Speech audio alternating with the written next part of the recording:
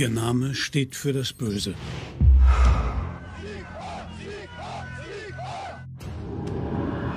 Wo immer sie auftauchen, verbreiten sie Hass und Angst.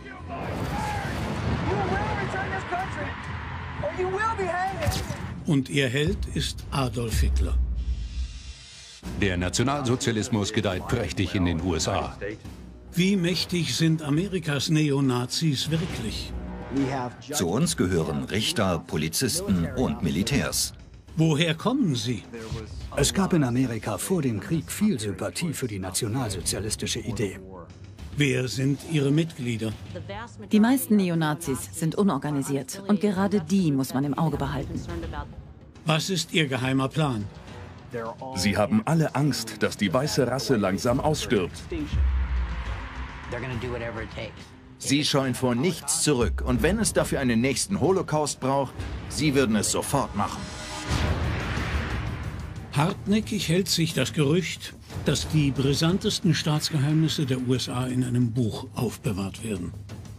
Ein Buch, zu dem nur der Präsident und seine engsten Vertrauten Zugang haben. Ein Buch mit genügend Zündstoff, um die Geschichte der USA neu zu schreiben. Sollte dieses Buch tatsächlich existieren, was steht darin geschrieben? Geheime Pläne? Unbequeme Wahrheiten? Verschwörungen?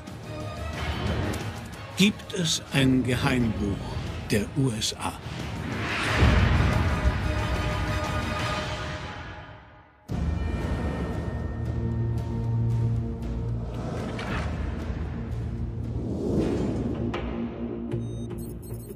Creek, Wisconsin, 5. August 2012.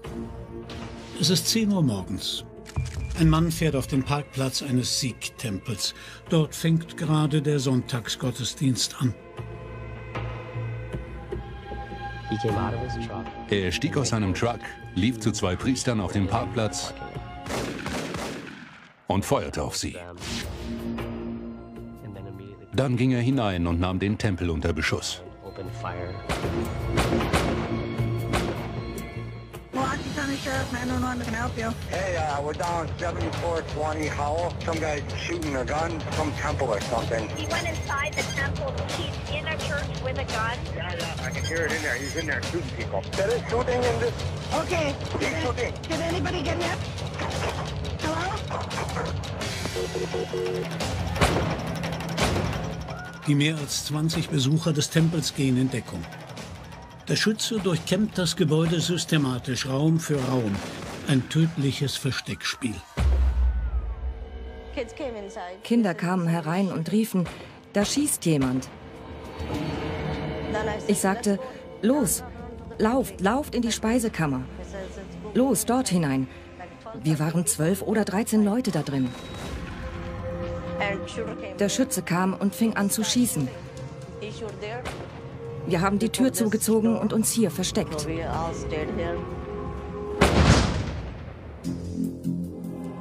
Der Gründer und Vorsteher des Tempels, Satwan Singh Kaleka, flieht mit anderen in ein Hinterzimmer und ruft die Polizei. There is shooting at 7512 South Howell Avenue. Okay. The police have. Many gunfire. Mein Vater war in dem Zimmer in Sicherheit. Er wollte noch jemanden hineinlassen, obwohl andere dagegen waren. Durch die Geräusche wird der Schütze auf sie aufmerksam. Er trat die Tür ein und feuerte auf alle vier. Kaleka wird tödlich verletzt, als er versucht, den Attentäter mit einem Buttermesser zu überwältigen. Als der Schütze das Gebäude verlässt, trifft er draußen auf Lieutenant Brian Murphy. Er schießt dem Polizeibeamten in den Hals und feuert weitere 14 Schüsse aus nächster Nähe auf ihn ab.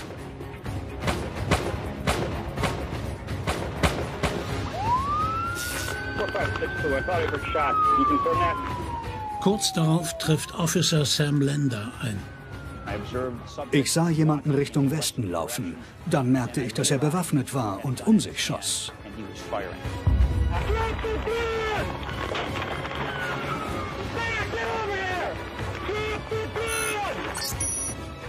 Ich drückte ab und er ging zu Boden. Der Schütze wird in den Oberkörper getroffen und setzt mit einem Kopfschuss seinem Leben selbst ein Ende. Außer dem Attentäter sterben sechs Menschen, drei weitere sind schwer verletzt. Eine ganze Gemeinde ist traumatisiert. Aber was steckt hinter dem Blutbad? Das Tattoo auf der Schulter des Tatverdächtigen könnte einen Hinweis geben. Die Zahl 14. Damit kann das FBI den Schützen identifizieren. Es ist Wade Michael Page, Verfechter der sogenannten White Supremacy, der weißen Vorherrschaft und Musiker in einer Neonazi-Rockband. Die tätowierte 14 ist ein Erkennungszeichen für andere Rassisten. Es geht um 14 Wörter, die den ganzen weißen Rassenwahn auf den Punkt bringen.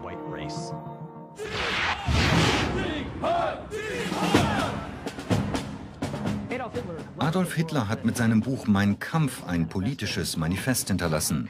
In Anlehnung an Kapitel 8 entstand in der US-Neonazi-Szene ein Zitat aus diesen 14 Wörtern. Wir müssen die Existenz unseres Volkes und auch die Zukunft unserer weißen Kinder sichern. Diese 14 Wörter wurden quasi der Leitspruch der White Supremacy in den USA. Mein Kampf? Adolf Hitler? Wie kann es sein, dass der Mann, der in den 1930er und 40er Jahren Millionen Menschen ermorden ließ, im 21. Jahrhundert noch verehrt wird. Neonazis sehen sich gern als noble Kämpfer. Das gehört zu ihrem Weltbild. Sehr wahrscheinlich glaubte Wade Page, er wäre ein Märtyrer für die Bewegung. Ich glaube, in seinem Kopf lief Folgendes ab. Ich gehe da jetzt rein wie ein Berserker, niete Leute um und werde getötet. Dann komme ich nach Valhall und nach Asgard. Das ist die Halle, wo man Met trinkt, kämpft und stirbt. Und dann wird man am nächsten Tag wieder zum Leben erweckt und beginnt von vorn. Page war Soldat, bis er 1998 unehrenhaft aus der Armee entlassen wurde. In den zehn Jahren darauf hatte er verschiedene Jobs, verbrachte aber immer mehr Zeit als Musiker in diversen Neonazi-Rockbands. Viele seiner rassistischen Ansichten hatte Page nach Aussagen von Bekannten aber schon während seiner Zeit als Soldat erworben. Page erzählte mir, dass er beim Militär erst richtig zum Nazi wurde. Er meinte, wenn man noch nicht als Rassist zur Armee kommt, ist man sicher einer, wenn man wieder geht.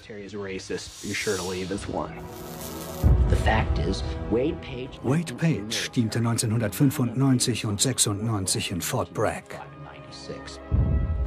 Genau zu der Zeit tummelten sich dort jede Menge Neonazis.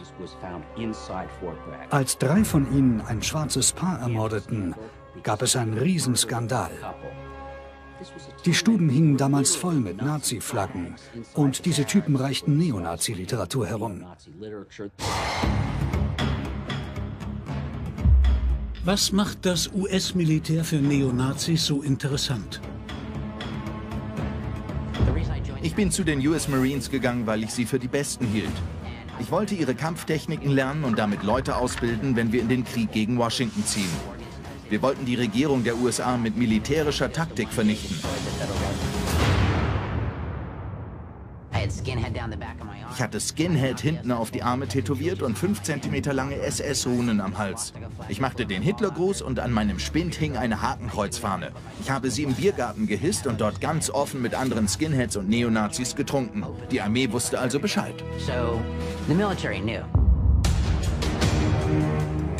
Ist das Gebot, ein politisch korrektes Bild abzugeben, der Grund dafür, dass sich das US-Militär auf dem rechten Auge blind zeigt? Der braune Sumpf ist jedenfalls weitreichend. In den USA sind fast 200 Neonazi-Gruppen aktiv. In einem losen Netzwerk sind sie mit zahlreichen anderen rassistischen Hassgruppen verbunden, wie etwa den berüchtigten White Power oder Aryan Power Bewegungen. Sie alle haben sich den Kampf für die Vorherrschaft der weißen Rasse auf die Fahnen geschrieben. Anhänger der White Power Bewegung und Neonazis sind sowohl Verbündete als auch Gegner. Es gibt innerhalb der Bewegung ein starkes Gefühl der Verbundenheit, denn sie sind alle aus demselben Grund dabei, weil sie Angst haben, dass die weiße Rasse ausstirbt und sie etwas dagegen tun wollen.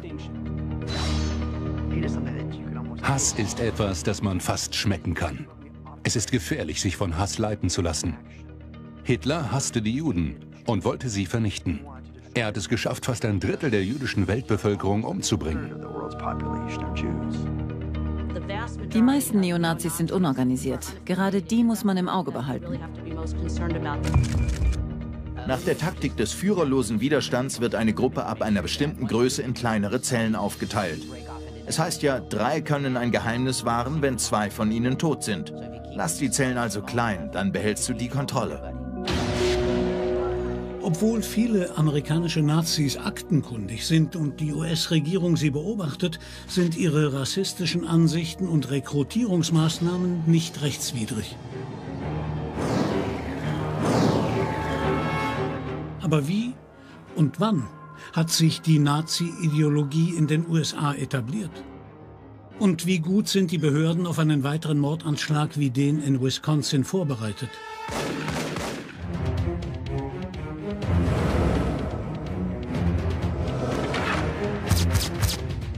1933. Adolf Hitler und seine Nationalsozialisten kommen an die Macht. Nur wenige ahnen, welcher Horror bevorsteht. Nach dem Ersten Weltkrieg stand Deutschland vor dem Bankrott. Hohe Arbeitslosigkeit und die galoppierende Inflation der 20er Jahre ließen viele Menschen verzweifeln. Hitler machte die Juden für das Elend der Deutschen verantwortlich. Aber die Welt verschloss vor seinen Hassreden Augen und Ohren.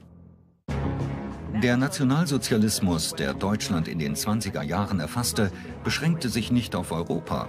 Auch in den so freiheitsliebenden Vereinigten Staaten waren Menschen von der Nazi-Ideologie fasziniert. Einer von ihnen war der Hollywood-Drehbuchautor und Esoteriker William Dudley Pelley.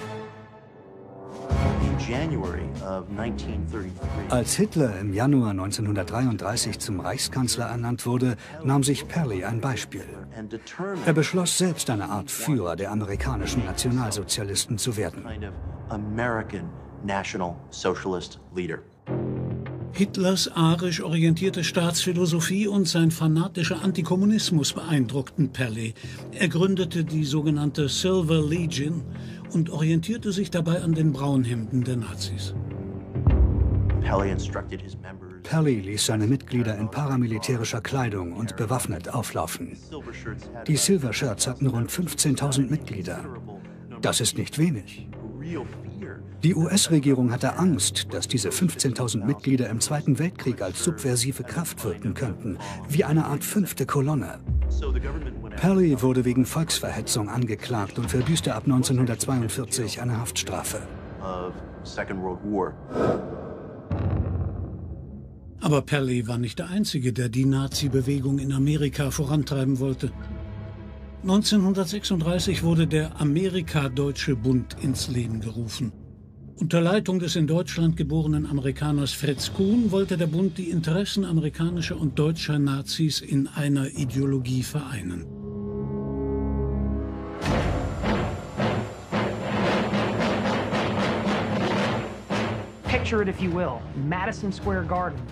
Stellen Sie sich dieses Bild vor. Im New Yorker Madison Square Garden versammelten sich im Februar 1939 20.000 Nationalsozialisten, um Fritz Kuhn reden zu hören.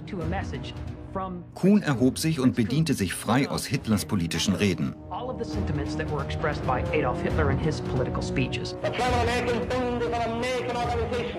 We're the last can fake our rights. We demand our rights to be American citizens.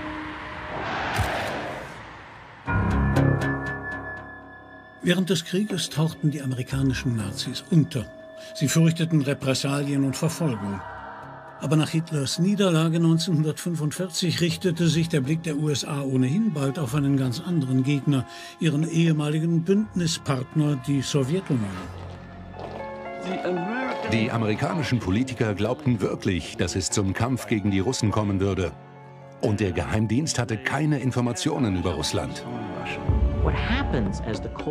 Der Kalte Krieg spitzte sich zu und es ging weniger um die Täter des letzten Krieges. Man wollte vielmehr deutsche Geheimdienstmitarbeiter mit Zugang zu politischen und militärischen Plänen anwerben. Dabei interessierte die Ideologie dieser Leute nicht besonders. Es gab einen regelrechten Wettstreit zwischen den Sowjets und den Amerikanern. Wer bekommt mehr Informationen über deutsche Wehrtechnik? Das Ergebnis war die sogenannte Operation Paperclip, durch die einige überzeugte Nazis in die USA kamen, weil sie von Nazi-Technologie Ahnung hatten.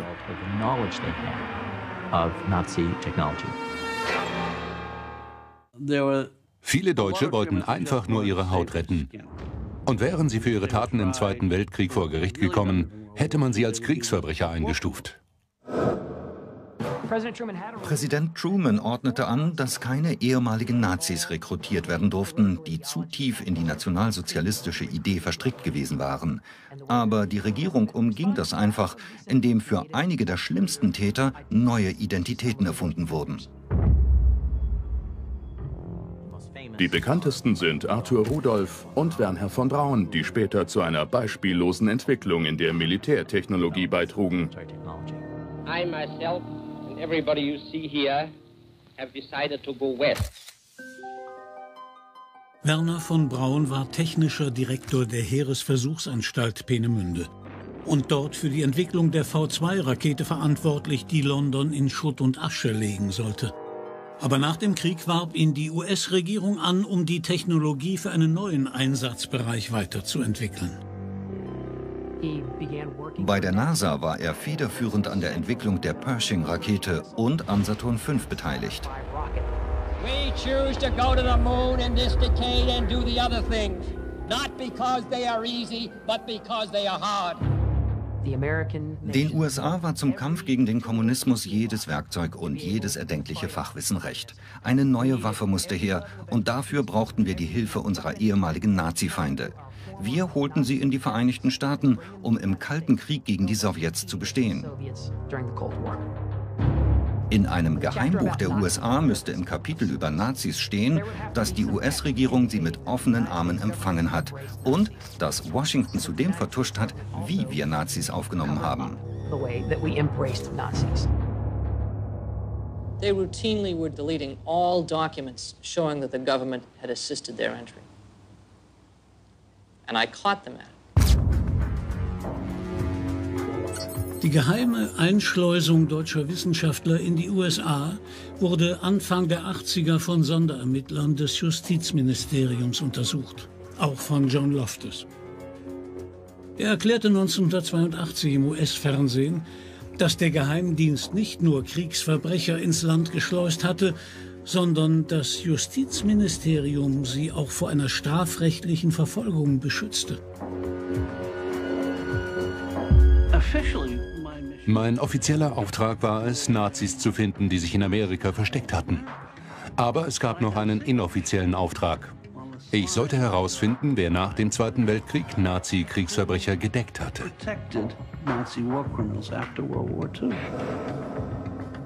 Laut Geheimdienstakten konnten hochrangige US-Beamte mit gelöschten Nazi-Strafregistern in Verbindung gebracht werden. Loftus zufolge führten die belastenden Unterlagen sogar bis zum früheren CIA-Chef Alan Dulles.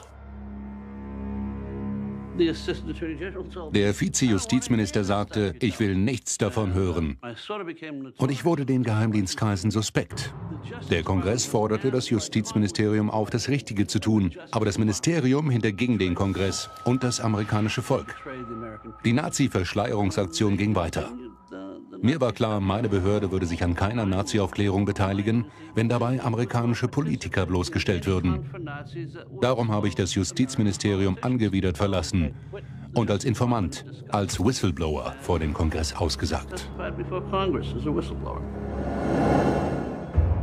Hat Operation Paperclip tatsächlich den Boden für rechtsextreme Gruppen in den USA bereitet? Oder war das Feld nicht ohnehin schon bestellt?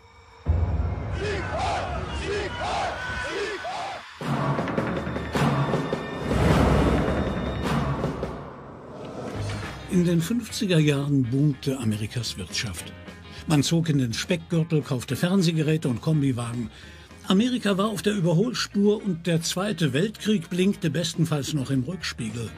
Die Bürger strotzten vor Zuversicht und hofften, dass der amerikanische Traum bald auch für jene Wirklichkeit werden könnte, die bislang ausgegrenzt worden waren.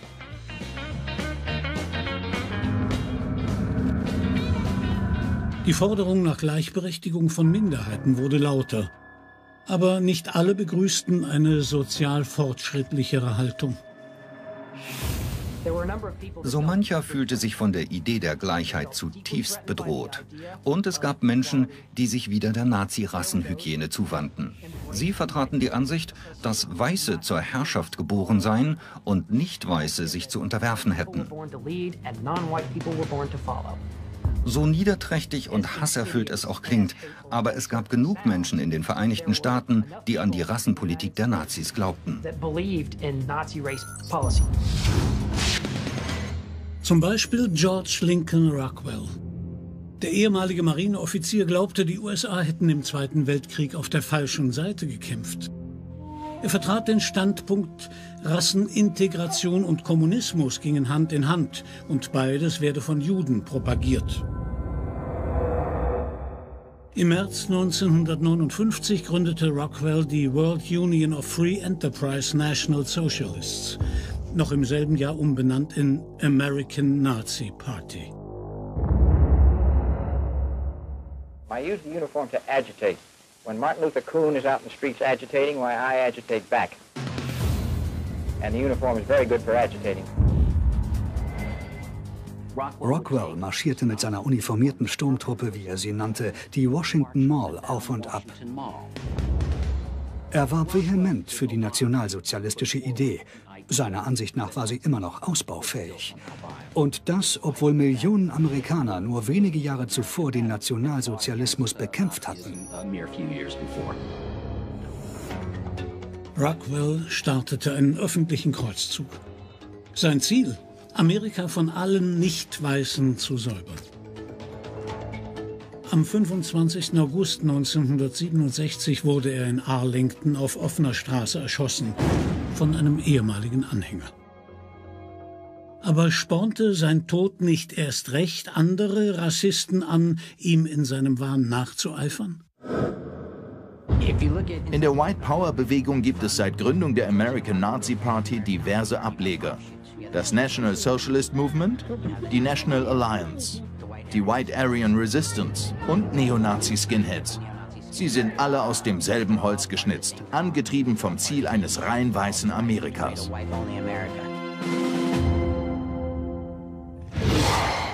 Die National Alliance wurde 1974 von William Luther Pierce gegründet, einst ein treuer Gefährte Rockwells. William Pierce lehrte eine Zeit lang an der Oregon State University und verließ dann die Hochschule, um seiner wahren Leidenschaft zu folgen, der Verbreitung von Neonazi-Propaganda. Pierce verfasste einen Roman, der vielen Rassisten und Neonazis als Inspirationsquelle dient. Ein geistiger Brandsatz, der bis heute zu Gewalt und Mord anstiftet. Die Turner-Tagebücher.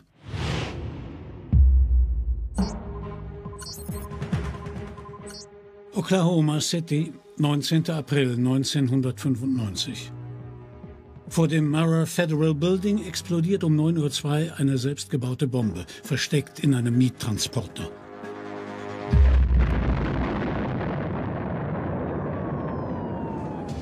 »168 Menschen sterben, darunter 19 Kinder. Mehr als 800 Menschen werden schwer verletzt. Nur wenige Stunden später nimmt die Polizei den 26-jährigen Timothy McVeigh wegen eines anderen Deliktes fest. In seinem Fahrzeug werden kopierte Seiten aus den Turner-Tagebüchern gefunden.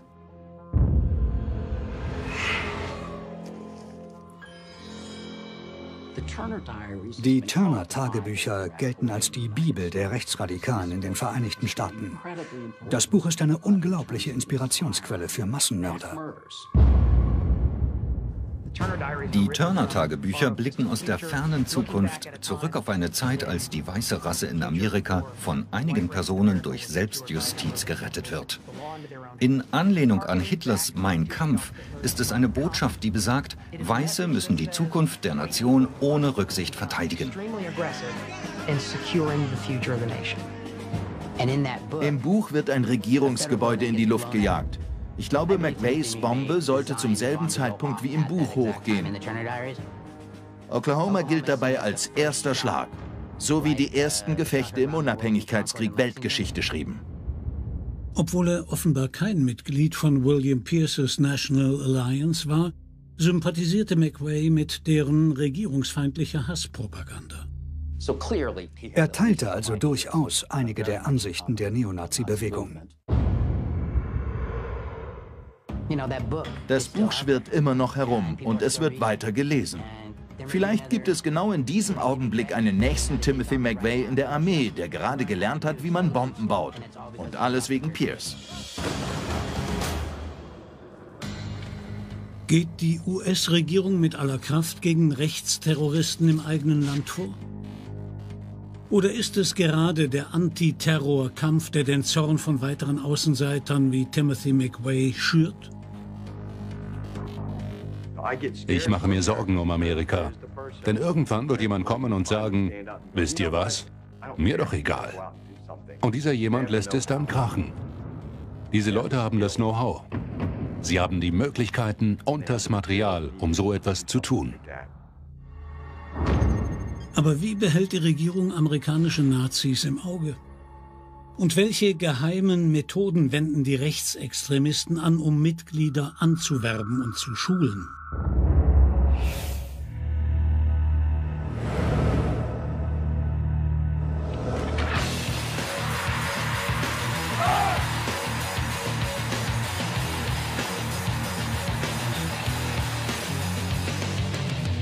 Der Weg in den braunen Sumpf beginnt oft mit Musik. Auf Geheimkonzerten feiern überwiegend junge Männer und Frauen eine Heavy-Metal-Spielart namens Hate Rock.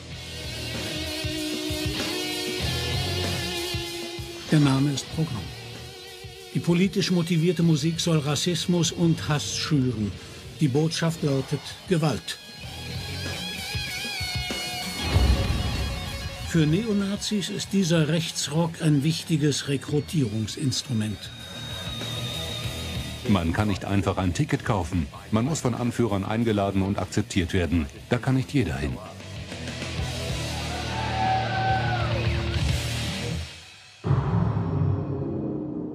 Für die Neonazi-Gruppe National Socialist Movement ist die Musik als Propagandainstrument so wichtig und auch so lukrativ geworden, dass sie ihr eigenes Label gegründet hat, NSM 88. Das NSM ist eine weiße Bürgerrechtsorganisation.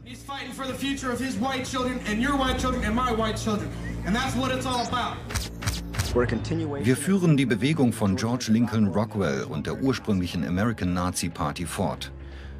Durch die Musik erreichen wir die jungen Menschen im Land und durch die politische Botschaft öffnen wir einer ganz neuen Generation Augen und Ohren.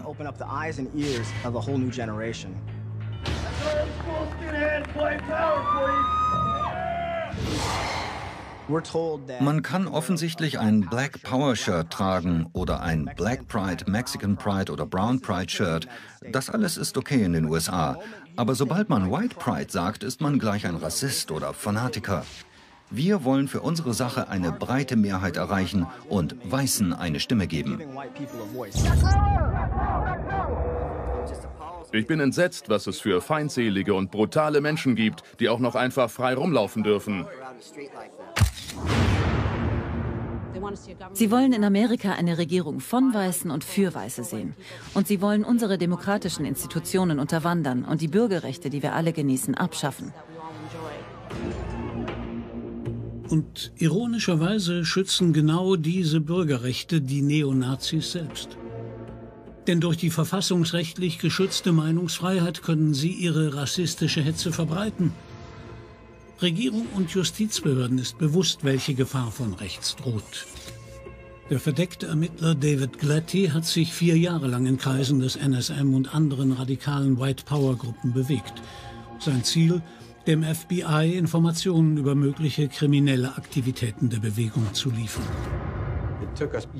Es hat Jahre gedauert. Ich bin auf jede Dorfproll-Party gegangen, jede kleine Nazi-Kundgebung im ganzen Land, um Leute kennenzulernen. Ich war echt baff, wie hasserfüllt sie tatsächlich waren. Wie sehr sie alle anderen nicht weißen Menschen hassten. Glatty täuschte Sympathie für die Ansichten der Organisation vor und wurde zum Insider.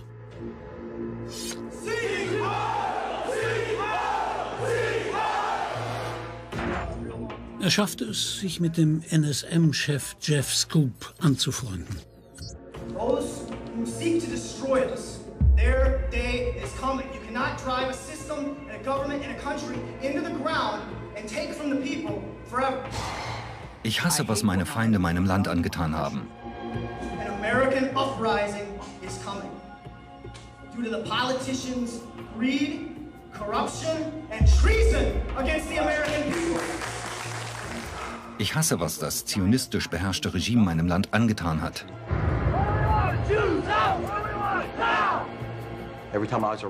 Bei jedem Treffen schüttelte er mir die Hand und sagte, Mann David, du bist eine unserer großen Hoffnungen. Und ich wurde einer ihrer Medienleute. So konnte ich bei allen Kundgebungen und Partys dabei sein und fotografieren. Und sie ahnten nicht, dass diese Fotos im Gesichtserkennungsprogramm des FBI landen würden.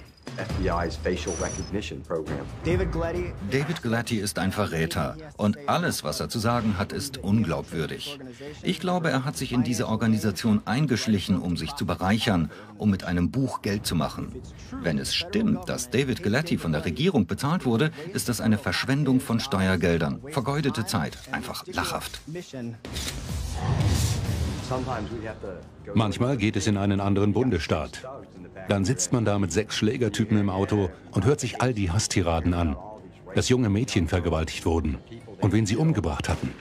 Vor allem trinken sie gern, prügeln sich, nehmen Drogen, ziehen durch ein paar Kneipen und schlagen dann einen Schwarzen zusammen, weil er mit einer Weißen unterwegs ist. Das nimmt einen ganz schön mit. Einige Sachen, die ich miterlebt habe, Morde, Vergewaltigungen und Raubüberfälle, gehen mir einfach nicht aus dem Kopf. Als Insider konnte Glatty die verschiedenen Taktiken der Gruppe studieren. Zum Beispiel hielt das NSM rassistische Hetzreden gerne in gemischten Wohnvierteln, um so Gewalt zu provozieren.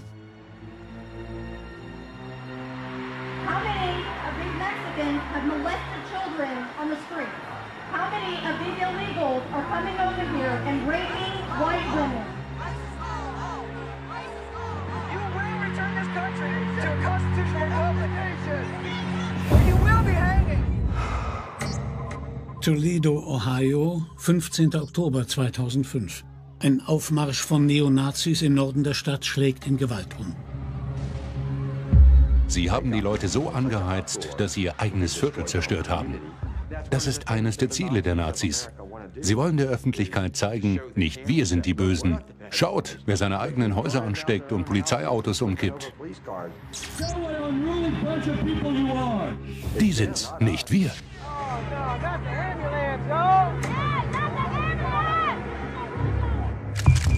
Dank David Glattys Informationen konnte das FBI die Organisation gut im Auge behalten. Aber das NSM scheint davon ziemlich ungerührt. Seine Taktik wird immer aggressiver. Wir stehen an der Front. Wir reden nicht nur über die Probleme und veranstalten Konzerte. Wir gehen auf die Straße.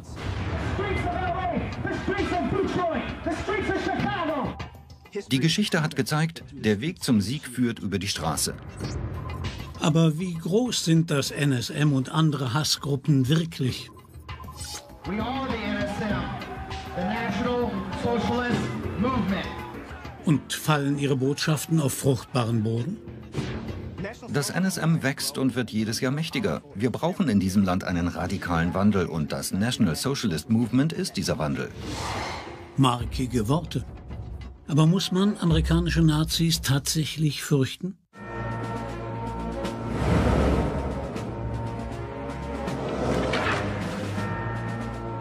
Hass lebt von der Angst der Menschen. Arbeitslosigkeit und Zuwanderung steigen. Lebensmittel und Kraftstoff werden immer teurer. Der Regierungsapparat wächst und mischt sich in einfach alles ein, von Energie über das Gesundheitswesen bis zum Waffenbesitz. All das sind Argumente, die Amerikas Nazis gerne ins Feld führen. Aus ihrer Sicht sind es die besten Voraussetzungen, um neue Mitglieder zu werben. Ihr Hass ist ziemlich flexibel. Sie hängen immer ihr Fähnchen nach dem Wind und nutzen alle Propagandamittel. Die Nazi-Gruppen finden immer neue Angriffsziele. Juden und den internationalen Zionismus verlieren sie nie aus den Augen. Aber in den 50ern ging es mehr um die Kommunisten, in den 60ern um die Schwarzen. Heute sind es die Einwanderer.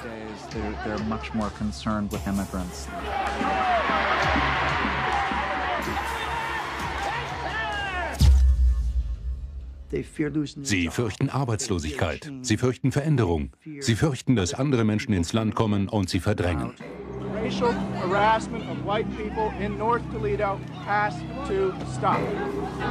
Die US-Regierung hat es nicht geschafft, der Welle von illegalen Einwanderern in dieses Land Herr zu werden. Deswegen hat sich das National Socialist Movement so sehr beim Grenzschutz im Südwesten engagiert. Die Anhänger der White Supremacy-Bewegung betrachten sich als Minderheit, auch ökonomisch. Und sie glauben, dass sie den Kampf langsam verlieren. Ihrer Ansicht nach sind nur 2% der Weltbevölkerung weiß und sie denken, es sei nun an der Zeit, hart durchzugreifen, bevor keine Weißen mehr übrig sind. Sie suchen nach einem Sündenbock. Sind es nicht die Einwanderer, sind es die Frauen oder Katholiken. Und wenn die es nicht sind, kommt der Nächste auf die Liste. Nur nicht sie selbst. Nach fast zwei Jahrzehnten in der White Power Bewegung erkannte T.J. Leiden, ein selbsternannter Neonazi-Straßenkämpfer, dass Hass nur immer weiter Hass erzeugt. Mal ehrlich, wenn es nur noch Weiße auf der Welt gibt, wen hassen wir dann? Dieser Hass verschwindet nicht einfach, er wird sich nur verlagern. Ich habe irgendwann gesagt, ich kann nicht mehr. Es ist eine Lüge. Und dann bin ich gegangen und habe Straight Talk Consulting ins Leben gerufen. Das ist eine Organisation, die Hass, Fanatismus und Rassismus bekämpft.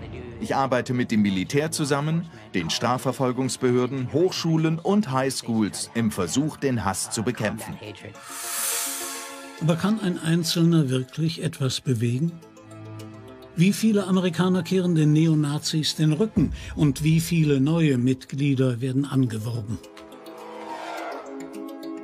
Das NSM verbreitet unsere Botschaft sehr eifrig. Wir sind auf der Straße aktiv bei Protesten.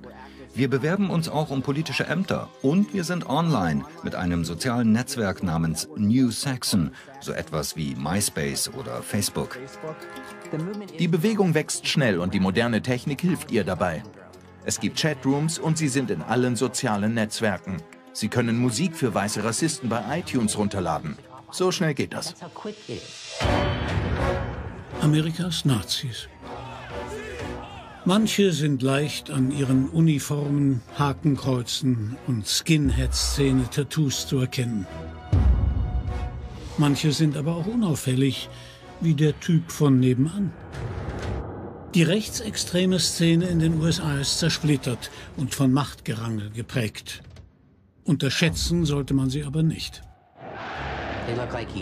Sie sehen aus wie du und ich. Es könnte jeder sein. Meine Mutter hätte nie gedacht, dass ihr Sohn einer sein könnte. Dem Klischee nach ist ein typischer Neonazi ungebildet und hat Probleme, den eigenen Vornamen zu buchstabieren. Aber sie haben ein viel größeres Rekrutierungspotenzial, als die meisten Leute glauben.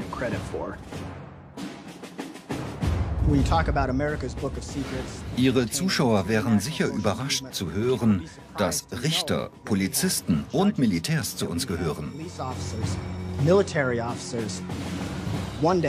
Eines Tages werden wir uns erheben und bis zum Äußersten kämpfen.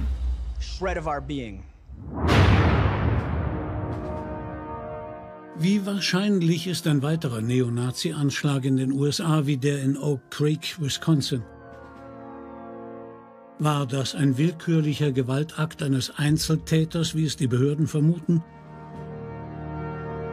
Oder war es eine weitere Bluttat auf einer langen Liste rassistischer Gräueltaten? Eine Liste, die fortgeschrieben wird. Die White Power Bewegung hat aktuell Zulauf. Aber noch agieren sie im Untergrund und warten auf den richtigen Augenblick. Aber es würde mich nicht überraschen, wenn wir hier bald eine Terrorwelle von innen heraus erleben.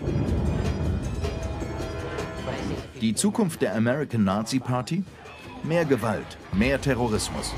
Sie werden sich nicht zufrieden geben, bis die Welt ganz und gar weiß ist. Und sie werden keine Mittel und Wege scheuen. Wenn es dafür einen zweiten Holocaust braucht, würden sie es tun, ohne mit der Wimper zu zucken. Amerikas Nazis. Sie sind der erschreckende Beweis, dass Adolf Hitlers Rassenwahn immer noch existiert. Aber wird es seinen Anhängern tatsächlich gelingen, Institutionen zu unterwandern, die Regierung und das tägliche Leben? Oder ist das bereits geschehen? Antwort könnte davon abhängen, wie gut und genau wir hinsehen. Auch in Zukunft. Ihr Name steht für das Böse.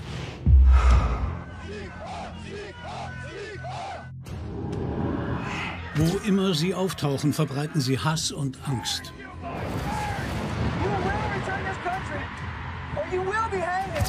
Und ihr Held ist Adolf Hitler. Der Nationalsozialismus gedeiht prächtig in den USA. Wie mächtig sind Amerikas Neonazis wirklich?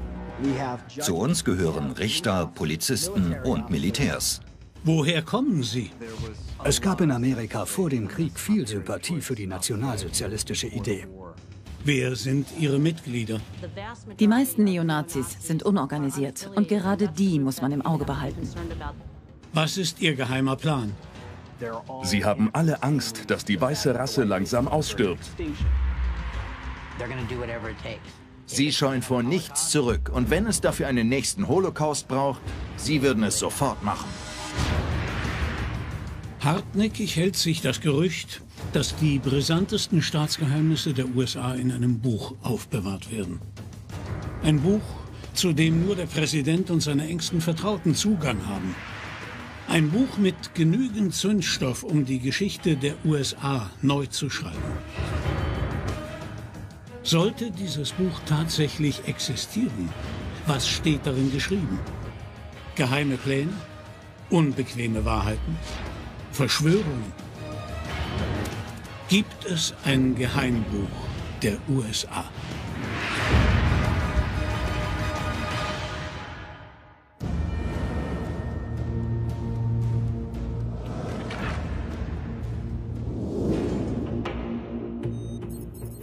Creek, Wisconsin, 5. August 2012.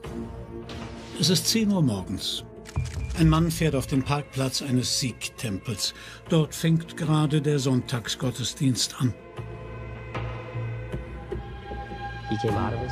Er stieg aus seinem Truck, lief zu zwei Priestern auf dem Parkplatz und feuerte auf sie. Dann ging er hinein und nahm den Tempel unter Beschuss.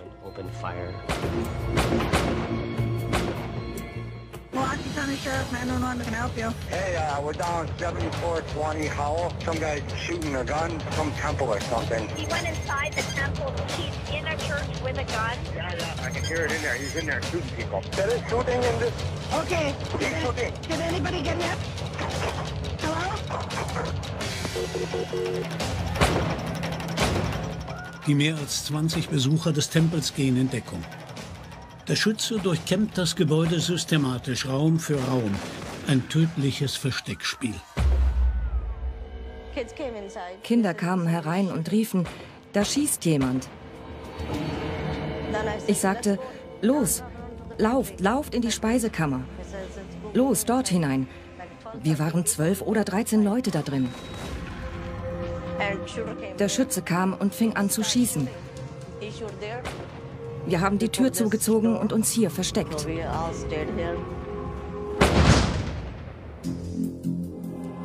Der Gründer und Vorsteher des Tempels, Satwan Singh Kaleka, flieht mit anderen in ein Hinterzimmer und ruft die Polizei. There is shooting at 7512 South Kavala Road. Okay. The police have Many, gunfire. Mein Vater war in dem Zimmer in Sicherheit. Er wollte noch jemanden hineinlassen, obwohl andere dagegen waren. Durch die Geräusche wird der Schütze auf sie aufmerksam. Er trat die Tür ein und feuerte auf alle vier. Kaleka wird tödlich verletzt, als er versucht, den Attentäter mit einem Buttermesser zu überwältigen. Als der Schütze das Gebäude verlässt, trifft er draußen auf Lieutenant Brian Murphy. Er schießt dem Polizeibeamten in den Hals und feuert weitere 14 Schüsse aus nächster Nähe auf ihn ab.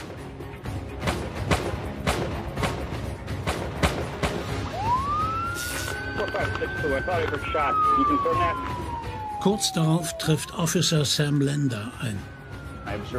Ich sah jemanden Richtung Westen laufen. Dann merkte ich, dass er bewaffnet war und um sich schoss.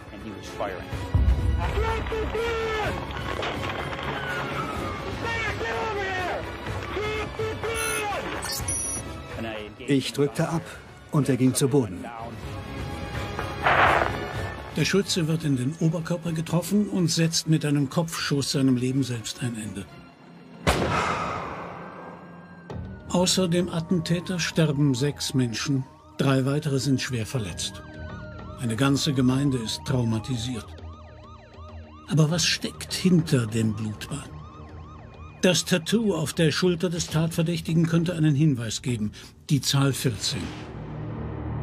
Damit kann das FBI den Schützen identifizieren. Es ist Wade Michael Page, Verfechter der sogenannten White Supremacy, der weißen Vorherrschaft und Musiker in einer Neonazi-Rockband. Die tätowierte 14 ist ein Erkennungszeichen für andere Rassisten. Es geht um 14 Wörter, die den ganzen weißen Rassenwahn auf den Punkt bringen.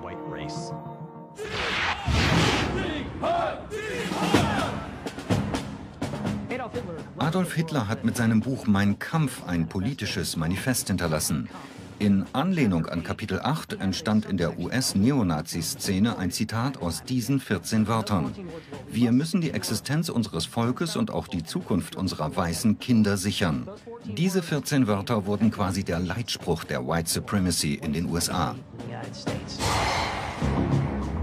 Mein Kampf? Adolf Hitler? Wie kann es sein, dass der Mann, der in den 1930er und 40er Jahren Millionen Menschen ermorden ließ, im 21. Jahrhundert noch verehrt wird? Neonazis sehen sich gern als noble Kämpfer. Das gehört zu ihrem Weltbild. Sehr wahrscheinlich glaubte Wade Page, er wäre ein Märtyrer für die Bewegung. Ich glaube, in seinem Kopf lief Folgendes ab. Ich gehe da jetzt rein wie ein Berserker, niete Leute um und werde getötet. Dann komme ich nach Valhall und nach Asgard. Das ist die Halle, wo man Met trinkt, kämpft und stirbt. Und dann wird man am nächsten Tag wieder zum Leben erweckt und beginnt von vorn.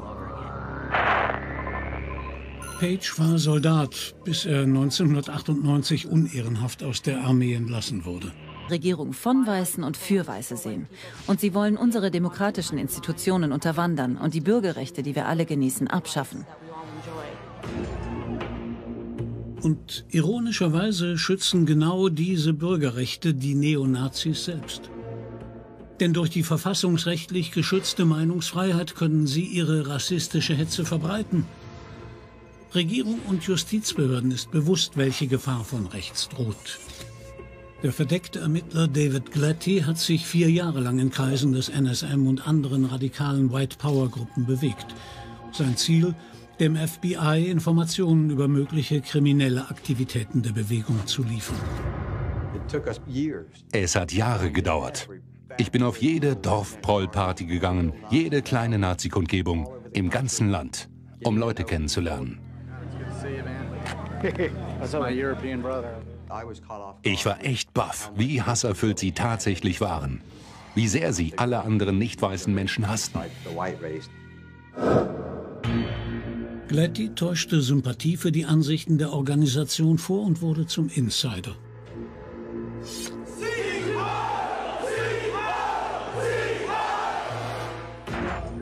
Er schaffte es, sich mit dem NSM-Chef Jeff Scoop anzufreunden. Those who seek to destroy us, their day is coming. You cannot system and a government and a country ground and take from the people forever. Ich hasse, was meine Feinde meinem Land angetan haben.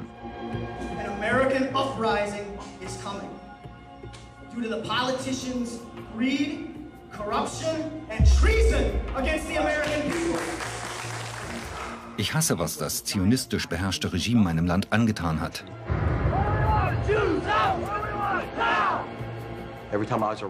Bei jedem Treffen schüttelte er mir die Hand und sagte, Mann David, du bist eine unserer großen Hoffnungen. Und ich wurde einer ihrer Medienleute. So konnte ich bei allen Kundgebungen und Partys dabei sein und fotografieren. Und sie ahnten nicht, dass diese Fotos im Gesichtserkennungsprogramm des FBI landen würden. David Gladdy. David Gladdy ist ein Verräter und alles, was er zu sagen hat, ist unglaubwürdig.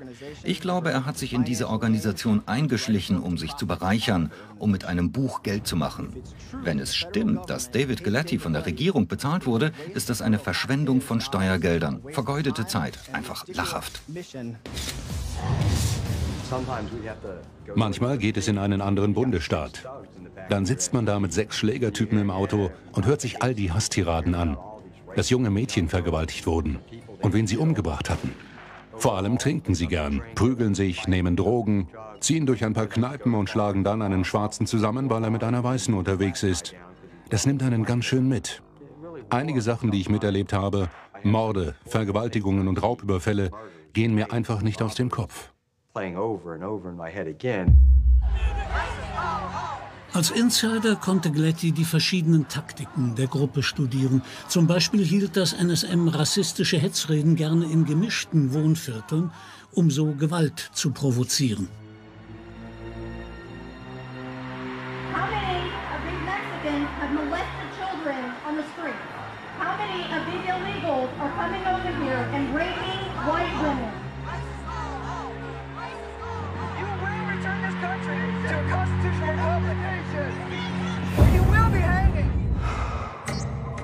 Toledo, Ohio, 15. Oktober 2005. Ein Aufmarsch von Neonazis im Norden der Stadt schlägt in Gewalt um. Sie haben die Leute so angeheizt, dass sie ihr eigenes Viertel zerstört haben. Das ist eines der Ziele der Nazis. Sie wollen der Öffentlichkeit zeigen, nicht wir sind die Bösen. Schaut, wer seine eigenen Häuser ansteckt und Polizeiautos umkippt. Die sind's, nicht wir.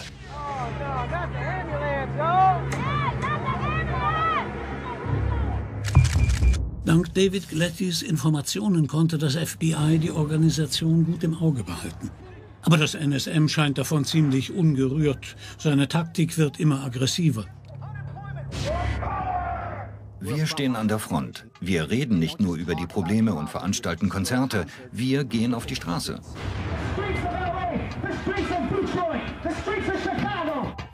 Die Geschichte hat gezeigt, der Weg zum Sieg führt über die Straße. Aber wie groß sind das NSM und andere Hassgruppen wirklich? We are the NSM, the National Socialist Movement. Und fallen ihre Botschaften auf fruchtbaren Boden? Das NSM wächst und wird jedes Jahr mächtiger. Wir brauchen in diesem Land einen radikalen Wandel und das National Socialist Movement ist dieser Wandel. Markige Worte. Aber muss man amerikanische Nazis tatsächlich fürchten?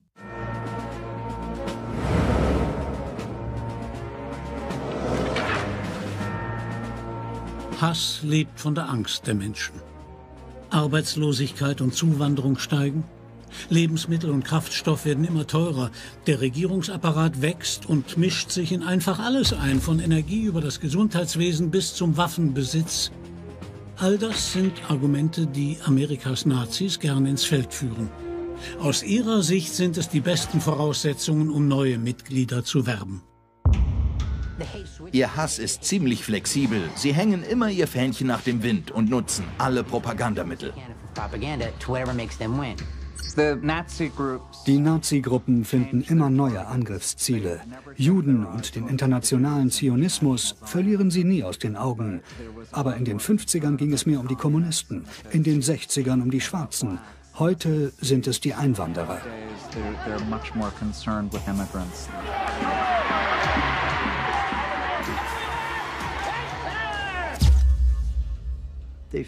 Sie fürchten Arbeitslosigkeit, sie fürchten Veränderung, sie fürchten, dass andere Menschen ins Land kommen und sie verdrängen.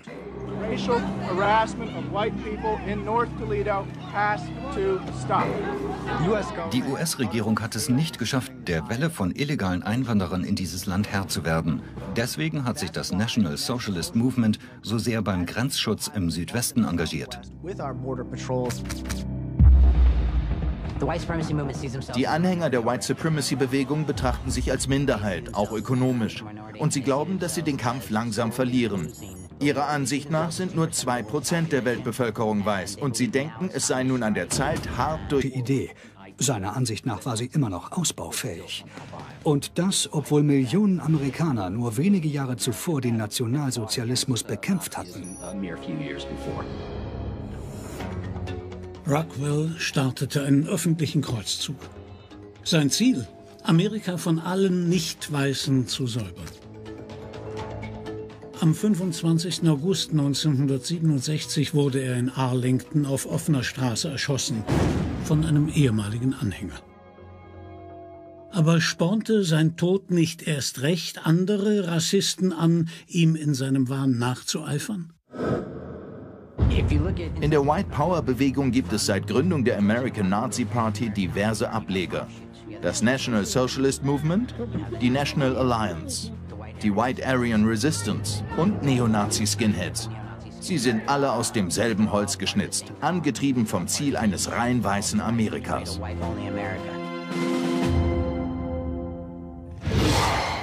Die National Alliance wurde 1974 von William Luther Pierce gegründet, einst ein treuer Gefährte Rockwells. William Pierce lehrte eine Zeit lang an der Oregon State University und verließ dann die Hochschule, um seiner wahren Leidenschaft zu folgen, der Verbreitung von Neonazi-Propaganda. Pierce verfasste einen Roman, der vielen Rassisten und Neonazis als Inspirationsquelle dient. Ein geistiger Brandsatz, der bis heute zu Gewalt und Mord anstiftet. Die Turner-Tagebücher.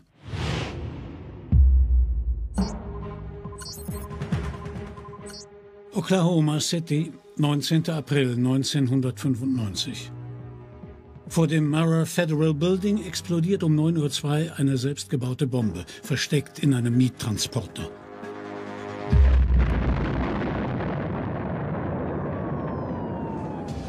»168 Menschen sterben, darunter 19 Kinder. Mehr als 800 Menschen werden schwer verletzt. Nur wenige Stunden später nimmt die Polizei den 26-jährigen Timothy McVeigh wegen eines anderen Deliktes fest. In seinem Fahrzeug werden kopierte Seiten aus den Turner-Tagebüchern gefunden.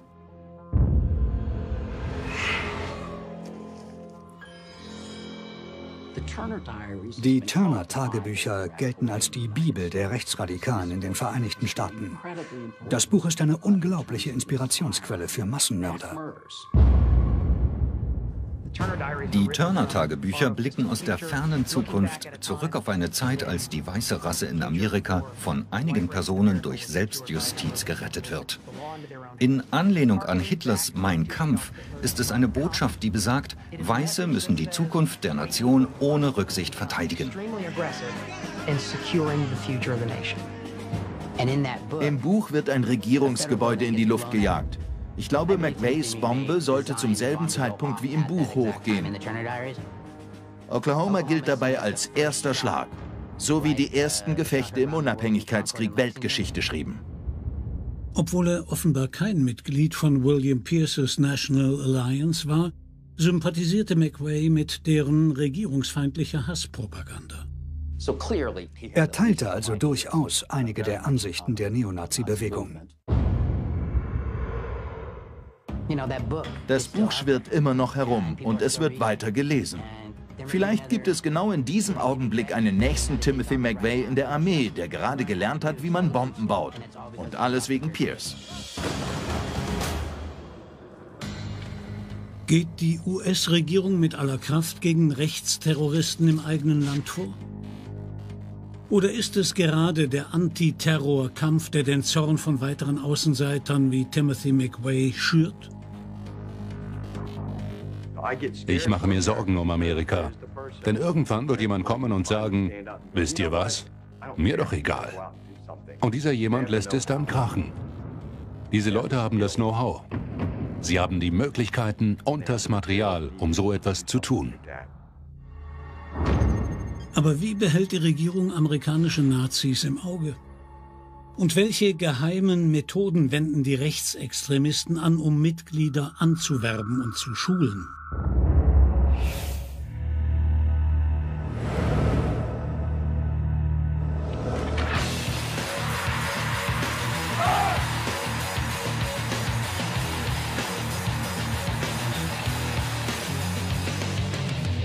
Der Weg in den braunen Sumpf beginnt oft mit Musik.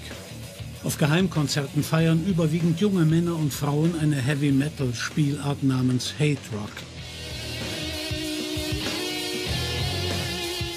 Der Name ist Programm.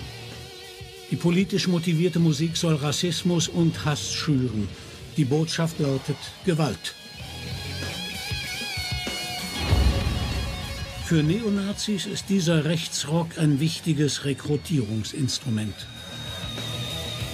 Man kann nicht einfach ein Ticket kaufen. Man muss von Anführern eingeladen und akzeptiert werden. Da kann nicht jeder hin.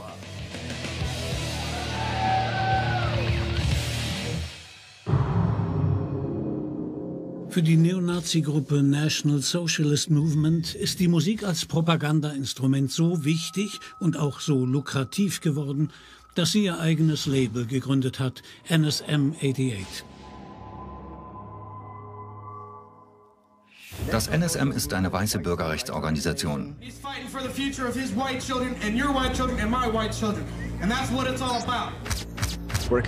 Wir führen die Bewegung von George Lincoln Rockwell und der ursprünglichen American Nazi Party fort.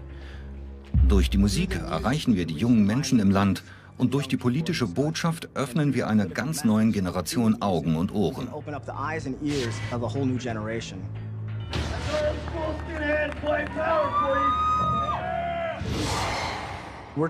Man kann offensichtlich ein Black Power Shirt tragen oder ein Black Pride, Mexican Pride oder Brown Pride Shirt.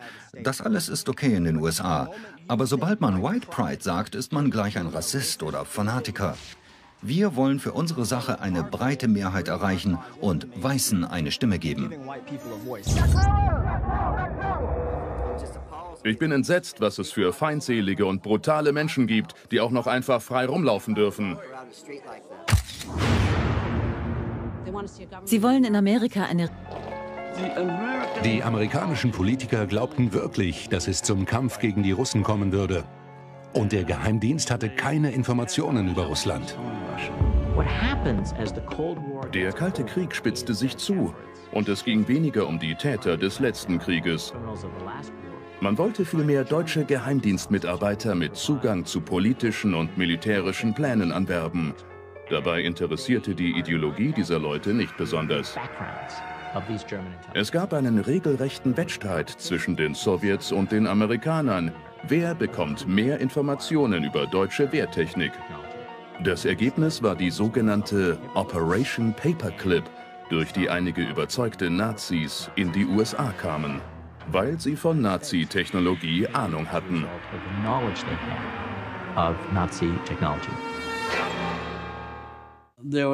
Viele Deutsche wollten einfach nur ihre Haut retten. Und wären sie für ihre Taten im Zweiten Weltkrieg vor Gericht gekommen, hätte man sie als Kriegsverbrecher eingestuft. Präsident Truman ordnete an, dass keine ehemaligen Nazis rekrutiert werden durften, die zu tief in die nationalsozialistische Idee verstrickt gewesen waren. Aber die Regierung umging das einfach, indem für einige der schlimmsten Täter neue Identitäten erfunden wurden. Die bekanntesten sind Arthur Rudolph und Wernher von Braun, die später zu einer beispiellosen Entwicklung in der Militärtechnologie beitrugen. I myself everybody you see here have decided to go west. Werner von Braun war technischer Direktor der Heeresversuchsanstalt Peenemünde und dort für die Entwicklung der V2-Rakete verantwortlich, die London in Schutt und Asche legen sollte. Aber nach dem Krieg warb ihn die US-Regierung an, um die Technologie für einen neuen Einsatzbereich weiterzuentwickeln. Bei der NASA war er federführend an der Entwicklung der Pershing-Rakete und an Saturn V beteiligt. We choose to go to the moon in this decade and do the other things, not because they are easy, but because they are hard. Den USA war zum Kampf gegen den Kommunismus jedes Werkzeug und jedes erdenkliche Fachwissen recht. Eine neue Waffe musste her und dafür brauchten wir die Hilfe unserer ehemaligen Nazi-Feinde. Wir holten sie in die Vereinigten Staaten, um im Kalten Krieg gegen die Sowjets zu bestehen. In einem Geheimbuch der USA müsste im Kapitel über Nazis stehen, dass die US-Regierung sie mit offenen Armen empfangen hat und dass Washington zudem vertuscht hat, wie wir Nazis aufgenommen haben. They routinely were deleting all documents showing that the government had assisted their entry. And I caught them at.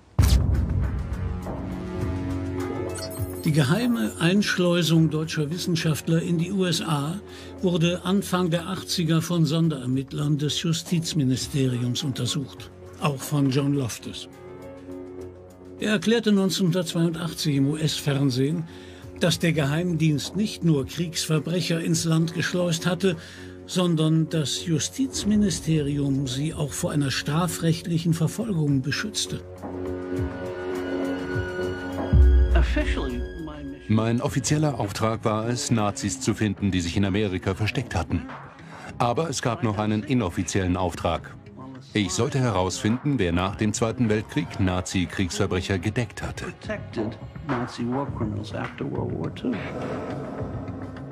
Laut Geheimdienstakten konnten hochrangige US-Beamte mit gelöschten Nazi-Strafregistern in Verbindung gebracht werden.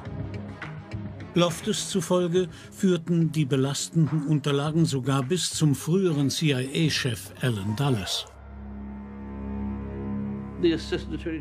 Der Vize-Justizminister sagte, ich will nichts davon hören. Und ich wurde den Geheimdienstkreisen suspekt. Der Kongress forderte das Justizministerium auf, das Richtige zu tun. Aber das Ministerium hinterging den Kongress und das amerikanische Volk. Die Nazi-Verschleierungsaktion ging weiter. Mir war klar, meine Behörde würde sich an keiner Nazi-Aufklärung beteiligen, wenn dabei amerikanische Politiker bloßgestellt würden. Darum habe ich das Justizministerium angewidert verlassen und als Informant, als Whistleblower vor dem Kongress ausgesagt. Hat Operation Paperclip tatsächlich den Boden für rechtsextreme Gruppen in den USA bereitet? Oder war das Feld nicht ohnehin schon bestellt?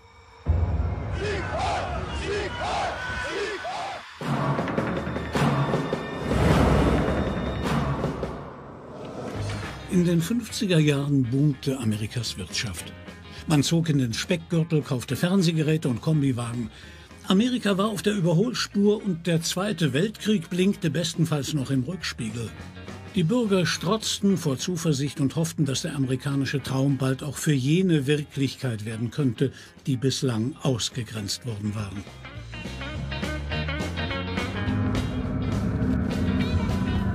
Die Forderung nach Gleichberechtigung von Minderheiten wurde lauter. Aber nicht alle begrüßten eine sozial fortschrittlichere Haltung. So mancher fühlte sich von der Idee der Gleichheit zutiefst bedroht. Und es gab Menschen, die sich wieder der Nazi-Rassenhygiene zuwandten. Sie vertraten die Ansicht, dass Weiße zur Herrschaft geboren seien und Nicht-Weiße sich zu unterwerfen hätten. So niederträchtig und hasserfüllt es auch klingt, aber es gab genug Menschen in den Vereinigten Staaten, die an die Rassenpolitik der Nazis glaubten.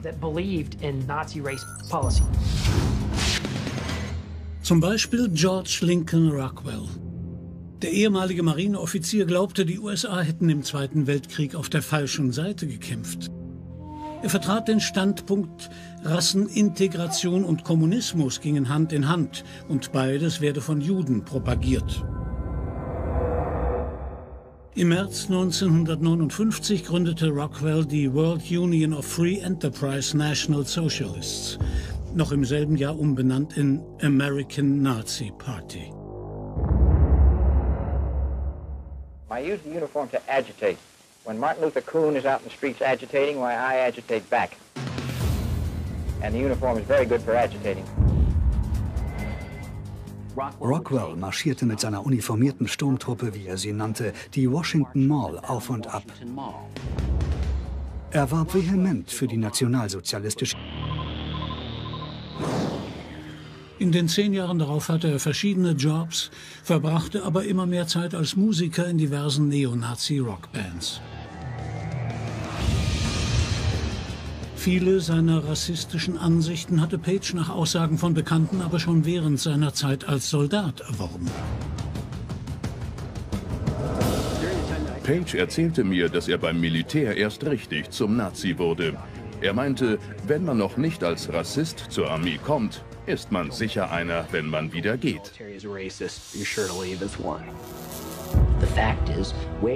Wade Page diente 1995 und 96 in Fort Bragg. Genau zu der Zeit tummelten sich dort jede Menge Neonazis. Als drei von ihnen ein schwarzes Paar ermordeten, gab es einen Riesenskandal. Die Stuben hingen damals voll mit Nazi-Flaggen und diese Typen reichten Neonazi-Literatur herum. Was macht das US-Militär für Neonazis so interessant? Ich bin zu den US Marines gegangen, weil ich sie für die Besten hielt. Ich wollte ihre Kampftechniken lernen und damit Leute ausbilden, wenn wir in den Krieg gegen Washington ziehen. Wir wollten die Regierung der USA mit militärischer Taktik vernichten. Ich hatte Skinhead hinten auf die Arme tätowiert und 5 cm lange SS-Runen am Hals. Ich machte den Hitlergruß und an meinem Spind hing eine Hakenkreuzfahne. Ich habe sie im Biergarten gehisst und dort ganz offen mit anderen Skinheads und Neonazis getrunken. Die Armee wusste also Bescheid. So, the military knew. Ist das Gebot, ein politisch korrektes Bild abzugeben, der Grund dafür, dass sich das US-Militär auf dem rechten Auge blind zeigt? Der braune Sumpf ist jedenfalls weitreichend. In den USA sind fast 200 Neonazi-Gruppen aktiv. In einem losen Netzwerk sind sie mit zahlreichen anderen rassistischen Hassgruppen verbunden, wie etwa den berüchtigten White Power oder Aryan Power Bewegungen. Sie alle haben sich den Kampf für die Vorherrschaft der weißen Rasse auf die Fahnen geschrieben. Anhänger der White Power Bewegung und Neonazis sind sowohl Verbündete als auch Gegner. Es gibt innerhalb der Bewegung ein starkes Gefühl der Verbundenheit, denn sie sind alle aus demselben Grund dabei, weil sie Angst haben, dass die weiße Rasse ausstirbt und sie etwas dagegen tun wollen. Hass ist etwas, das man fast schmecken kann. Es ist gefährlich, sich von Hass leiten zu lassen. Hitler hasste die Juden und wollte sie vernichten. Er hat es geschafft, fast ein Drittel der jüdischen Weltbevölkerung umzubringen. Die meisten Neonazis sind unorganisiert. Gerade die muss man im Auge behalten. Nach der Taktik des führerlosen Widerstands wird eine Gruppe ab einer bestimmten Größe in kleinere Zellen aufgeteilt. Es heißt ja, drei können ein Geheimnis wahren, wenn zwei von ihnen tot sind. Lass die Zellen also klein, dann behältst du die Kontrolle. Obwohl viele amerikanische Nazis aktenkundig sind und die US-Regierung sie beobachtet, sind ihre rassistischen Ansichten und Rekrutierungsmaßnahmen nicht rechtswidrig. Aber wie und wann hat sich die Nazi-Ideologie in den USA etabliert? Und wie gut sind die Behörden auf einen weiteren Mordanschlag wie den in Wisconsin vorbereitet?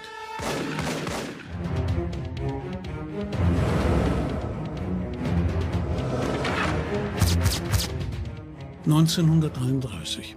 Adolf Hitler und seine Nationalsozialisten kommen an die Macht. Nur wenige ahnen, welcher Horror bevorsteht. Nach dem Ersten Weltkrieg stand Deutschland vor dem Bankrott.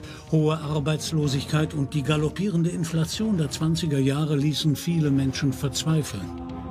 Hitler machte die Juden für das Elend der Deutschen verantwortlich. Aber die Welt verschloss vor seinen Hassreden Augen und Ohren. Der Nationalsozialismus, der Deutschland in den 20er Jahren erfasste, beschränkte sich nicht auf Europa. Auch in den so freiheitsliebenden Vereinigten Staaten waren Menschen von der Nazi-Ideologie fasziniert. Einer von ihnen war der Hollywood-Drehbuchautor und Esoteriker William Dudley Pelley. Als Hitler im Januar 1933 zum Reichskanzler ernannt wurde, nahm sich Perry ein Beispiel. Er beschloss selbst eine Art Führer der amerikanischen Nationalsozialisten zu werden. Hitlers arisch orientierte Staatsphilosophie und sein fanatischer Antikommunismus beeindruckten Pelly. Er gründete die sogenannte Silver Legion und orientierte sich dabei an den Braunhemden der Nazis. Pelly ließ seine Mitglieder in paramilitärischer Kleidung und bewaffnet auflaufen. Die Silver Shirts hatten rund 15.000 Mitglieder. Das ist nicht wenig. Die US-Regierung hatte Angst, dass diese 15.000 Mitglieder im Zweiten Weltkrieg als subversive Kraft wirken könnten, wie eine Art fünfte Kolonne. Perry wurde wegen Volksverhetzung angeklagt und verbüßte ab 1942 eine Haftstrafe. Aber Perry war nicht der Einzige, der die Nazi-Bewegung in Amerika vorantreiben wollte. 1936 wurde der Amerika-Deutsche Bund ins Leben gerufen. Unter Leitung des in Deutschland geborenen Amerikaners Fritz Kuhn wollte der Bund die Interessen amerikanischer und deutscher Nazis in einer Ideologie vereinen.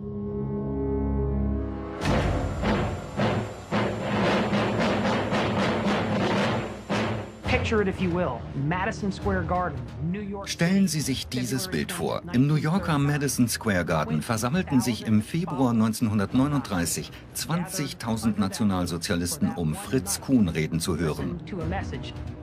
Kuhn erhob sich und bediente sich frei aus Hitlers politischen Reden.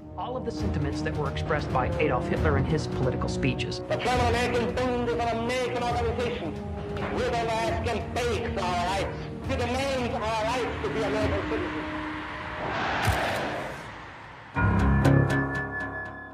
Während des Krieges tauchten die amerikanischen Nazis unter. Sie fürchteten Repressalien und Verfolgung.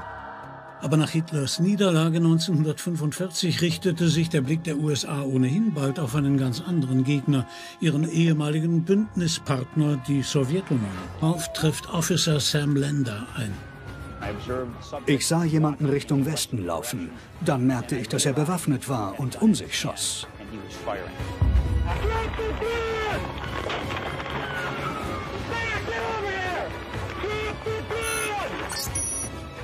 Ich drückte ab und er ging zu Boden.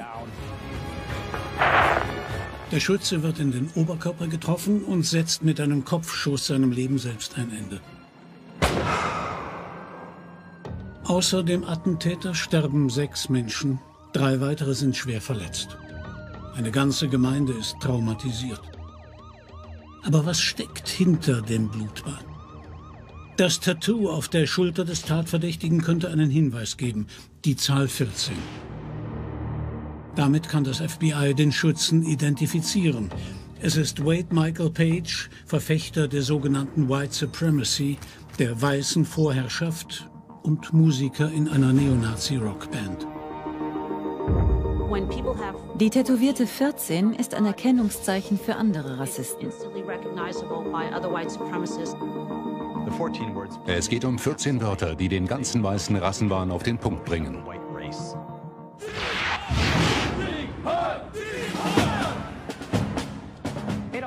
Adolf Hitler hat mit seinem Buch Mein Kampf ein politisches Manifest hinterlassen. In Anlehnung an Kapitel 8 entstand in der US-Neonazi-Szene ein Zitat aus diesen 14 Wörtern. Wir müssen die Existenz unseres Volkes und auch die Zukunft unserer weißen Kinder sichern. Diese 14 Wörter wurden quasi der Leitspruch der White Supremacy in den USA. Mein Kampf? Adolf Hitler? Wie kann es sein, dass der Mann, der in den 1930er und 40er Jahren Millionen Menschen ermorden ließ, im 21. Jahrhundert noch verehrt wird. Neonazis sehen sich gern als noble Kämpfer. Das gehört zu ihrem Weltbild. Sehr wahrscheinlich glaubte Wade Page, er wäre ein Märtyrer für die Bewegung. Ich glaube, in seinem Kopf lief Folgendes ab. Ich gehe da jetzt rein wie ein Berserker, niete Leute um und werde getötet. Dann komme ich nach Valhall und nach Asgard. Das ist die Halle, wo man Met trinkt, kämpft und stirbt. Und dann wird man am nächsten Tag wieder zum Leben erweckt und beginnt von vorn. Page war Soldat, bis er 1998 unehrenhaft aus der Armee entlassen wurde. In den zehn Jahren darauf hatte er verschiedene Jobs, verbrachte aber immer mehr Zeit als Musiker in diversen Neonazi-Rockbands. Viele seiner rassistischen Ansichten hatte Page nach... Waren Menschen von der Nazi-Ideologie fasziniert. Einer von ihnen war der Hollywood-Drehbuchautor und Esoteriker William Dudley Pelley. Als Hitler im Januar 1933 zum Reichskanzler ernannt wurde, nahm sich Pelley ein Beispiel. Er beschloss selbst eine Art Führer der amerikanischen Nationalsozialisten zu werden. Hitlers arisch orientierte Staatsphilosophie und sein fanatischer Antikommunismus beeindruckten Pelley. Er gründete die sogenannte Silver Legion und orientierte sich dabei an den Braunhemden der Nazis.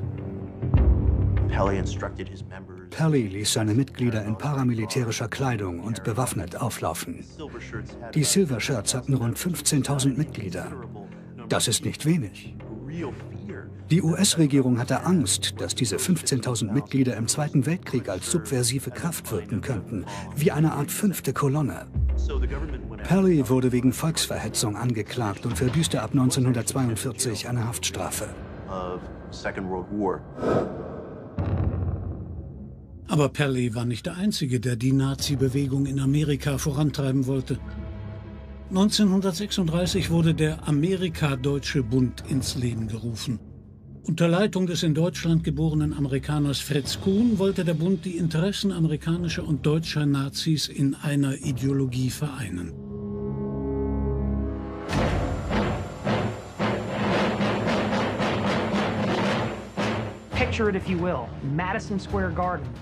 Stellen Sie sich dieses Bild vor. Im New Yorker Madison Square Garden versammelten sich im Februar 1939 20.000 Nationalsozialisten, um Fritz Kuhn reden zu hören. Kuhn erhob sich und bediente sich frei aus Hitlers politischen Reden.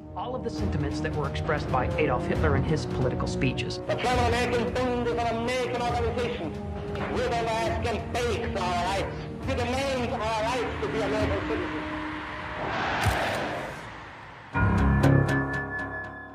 Während des Krieges tauchten die amerikanischen Nazis unter. Sie fürchteten Repressalien und Verfolgung. Aber nach Hitlers Niederlage 1945 richtete sich der Blick der USA ohnehin bald auf einen ganz anderen Gegner, ihren ehemaligen Bündnispartner, die Sowjetunion.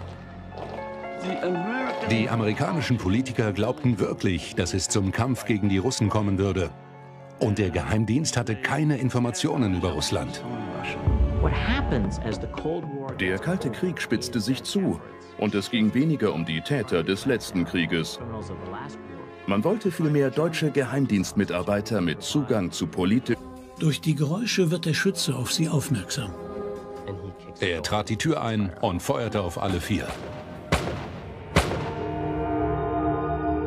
Kaleka wird tödlich verletzt, als er versucht, den Attentäter mit einem Buttermesser zu überwältigen.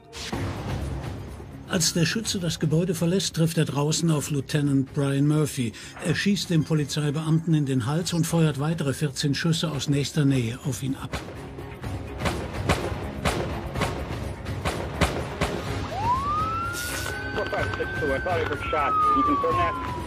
Kurz darauf trifft Officer Sam Lender ein. Ich sah jemanden Richtung Westen laufen. Dann merkte ich, dass er bewaffnet war und um sich schoss.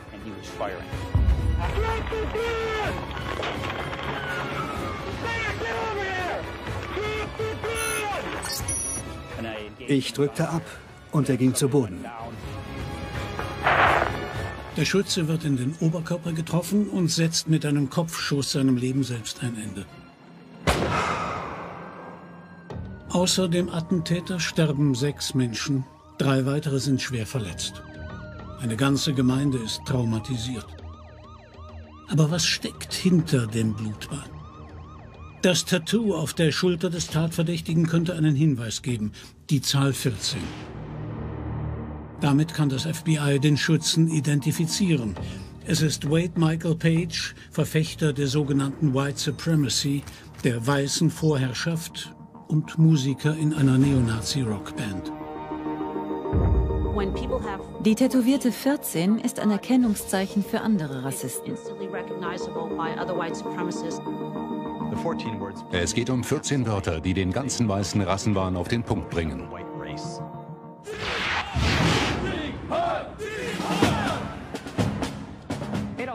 Adolf Hitler hat mit seinem Buch Mein Kampf ein politisches Manifest hinterlassen. In Anlehnung an Kapitel 8 entstand in der US-Neonazi-Szene ein Zitat aus diesen 14 Wörtern.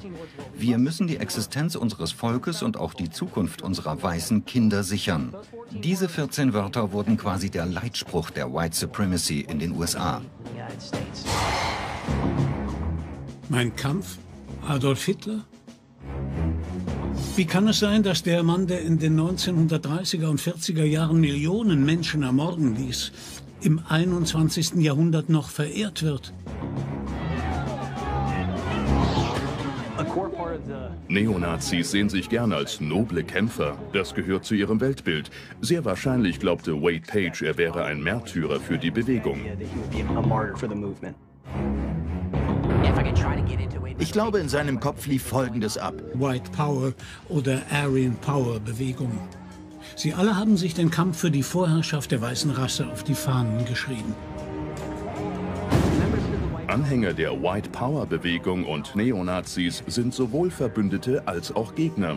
Es gibt innerhalb der Bewegung ein starkes Gefühl der Verbundenheit, denn sie sind alle aus demselben Grund dabei, weil sie Angst haben, dass die weiße Rasse ausstirbt und sie etwas dagegen tun wollen. Hass ist etwas, das man fast schmecken kann. Es ist gefährlich, sich von Hass leiten zu lassen. Hitler hasste die Juden und wollte sie vernichten. Er hat es geschafft, fast ein Drittel der jüdischen Weltbevölkerung umzubringen. Die meisten Neonazis sind unorganisiert. Gerade die muss man im Auge behalten. Nach der Taktik des führerlosen Widerstands wird eine Gruppe ab einer bestimmten Größe in kleinere Zellen aufgeteilt. Es heißt ja, drei können ein Geheimnis wahren, wenn zwei von ihnen tot sind. Lass die Zellen also klein, dann behältst du die Kontrolle. Obwohl viele amerikanische Nazis aktenkundig sind und die US-Regierung sie beobachtet, sind ihre rassistischen Ansichten und Rekrutierungsmaßnahmen nicht rechtswidrig. Aber wie und wann hat sich die Nazi-Ideologie in den USA etabliert? Und wie gut sind die Behörden auf einen weiteren Mordanschlag wie den in Wisconsin vorbereitet?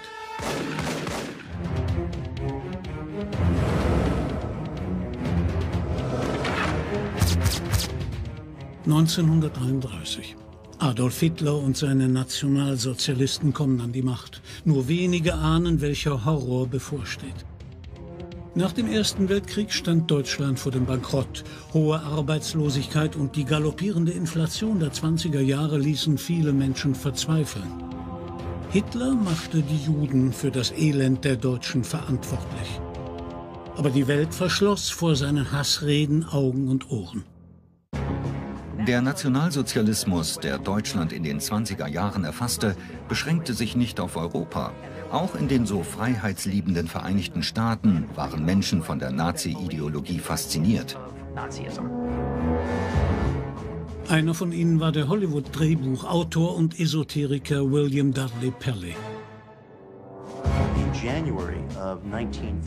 Als Hitler im Januar 1933 zum Reichskanzler ernannt wurde, nahm sich Perry ein Beispiel.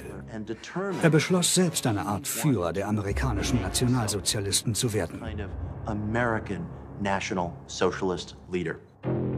Hitlers arisch orientierte Staatsphilosophie und sein fanatischer Antikommunismus beeindruckten Perley. Hartnäckig hält sich das Gerücht, dass die brisantesten Staatsgeheimnisse der USA in einem Buch aufbewahrt werden. Ein Buch, zu dem nur der Präsident und seine engsten Vertrauten Zugang haben. Ein Buch mit genügend Zündstoff, um die Geschichte der USA neu zu schreiben. Sollte dieses Buch tatsächlich existieren, was steht darin geschrieben? Geheime Pläne? Unbequeme Wahrheiten?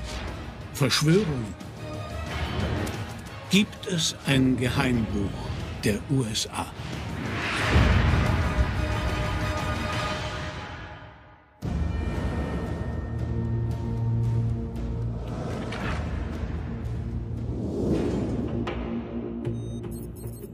Creek, Wisconsin, 5. August 2012. Es ist 10 Uhr morgens.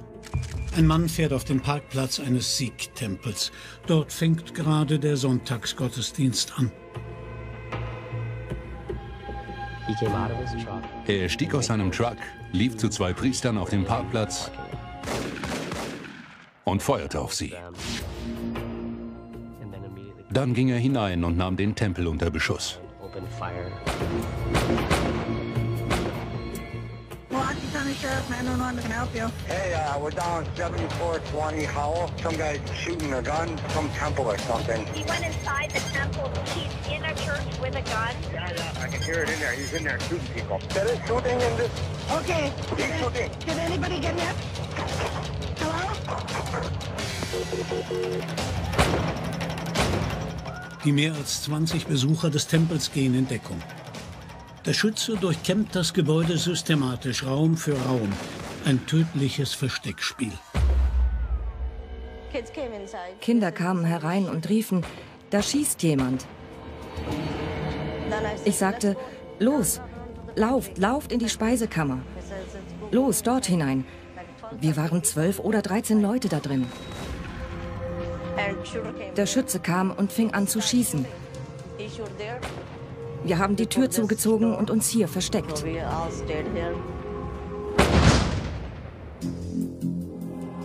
Der Gründer und Vorsteher des Tempels, Satwan Singh Kaleka, flieht mit anderen in ein Hinterzimmer und ruft die Polizei. There is shooting at 7512 South Havala Road. Okay. The police have shooting, many gunfire. Mein Vater war in dem Zimmer in Sicherheit. Er wollte noch jemanden hineinlassen, obwohl andere dagegen waren. Durch die Geräusche wird der Schütze auf sie aufmerksam. Er trat die Tür ein und feuerte auf alle vier. 1930er und 40er Jahren Millionen Menschen ermorden ließ, im 21. Jahrhundert noch verehrt wird. Neonazis sehen sich gern als noble Kämpfer. Das gehört zu ihrem Weltbild. Sehr wahrscheinlich glaubte Wade Page, er wäre ein Märtyrer für die Bewegung. Ich glaube, in seinem Kopf lief Folgendes ab. Ich gehe da jetzt rein wie ein Berserker, niete Leute um und werde getötet. Dann komme ich nach Valhall und nach Asgard. Das ist die Halle, wo man Met trinkt, kämpft und stirbt. Und dann wird man am nächsten Tag wieder zum Leben erweckt und beginnt von vorn.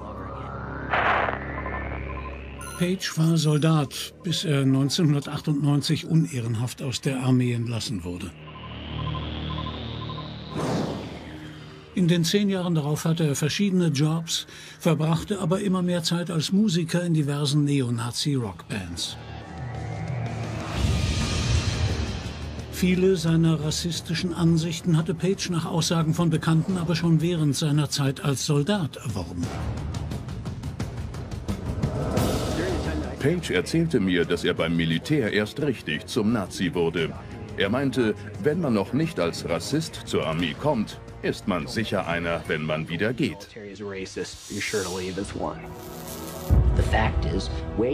Wade Page diente 1995 und 96 in Fort Bragg. Genau zu der Zeit tummelten sich dort jede Menge Neonazis. Als drei von ihnen ein schwarzes Paar ermordeten, gab es einen Riesenskandal.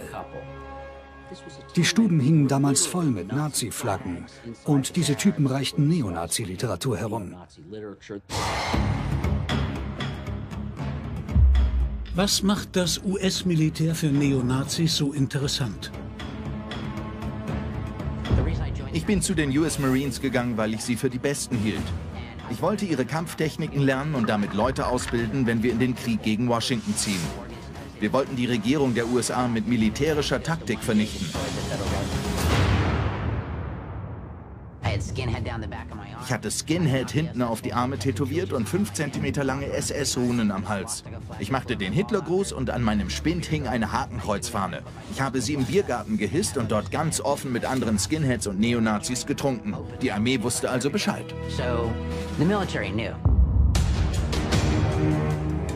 Ist das Gebot, ein politisch korrektes Bild abzugeben, der Grund dafür, dass sich das US-Militär auf dem rechten Auge blind zeigt?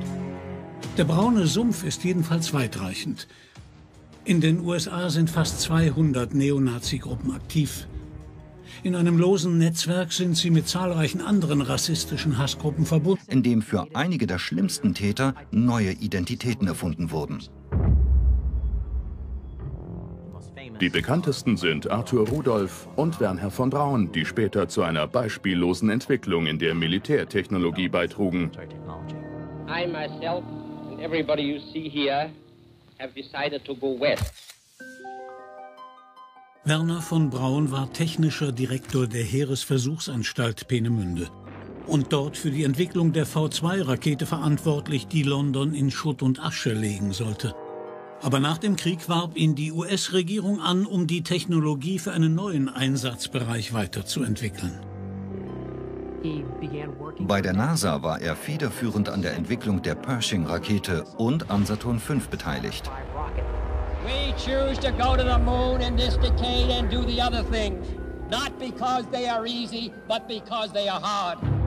Den USA war zum Kampf gegen den Kommunismus jedes Werkzeug und jedes erdenkliche Fachwissen recht. Eine neue Waffe musste her und dafür brauchten wir die Hilfe unserer ehemaligen Nazi-Feinde. Wir holten sie in die Vereinigten Staaten, um im Kalten Krieg gegen die Sowjets zu bestehen.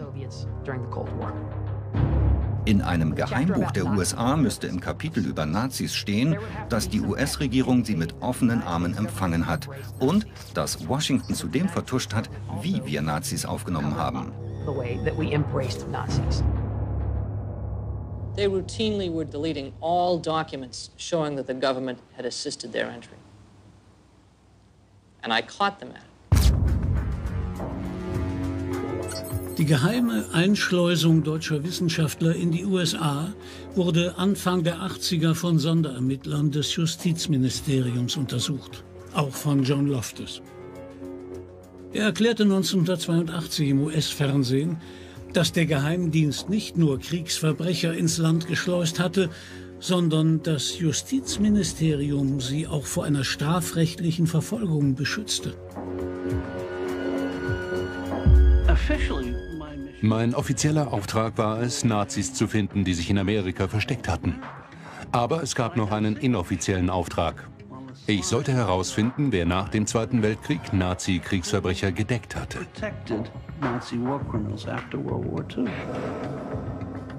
Laut Geheimdienstakten konnten hochrangige US-Beamte mit gelöschten Nazi-Strafregistern in Verbindung gebracht werden.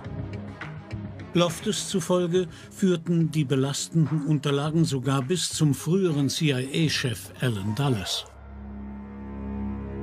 Der Vize-Justizminister sagte, ich will nichts davon hören. Und ich wurde den Geheimdienstkreisen suspekt. Ministerium hinterging den Kongress und das amerikanische Volk. Die Nazi-Verschleierungsaktion ging weiter. Mir war klar, meine Behörde würde sich an keiner Nazi-Aufklärung beteiligen, wenn dabei amerikanische Politiker bloßgestellt würden. Darum habe ich das Justizministerium angewidert verlassen und als Informant, als Whistleblower vor dem Kongress ausgesagt. Hat Operation Paperclip tatsächlich den Boden für rechtsextreme Gruppen in den USA bereitet? Oder war das Feld nicht ohnehin schon bestellt?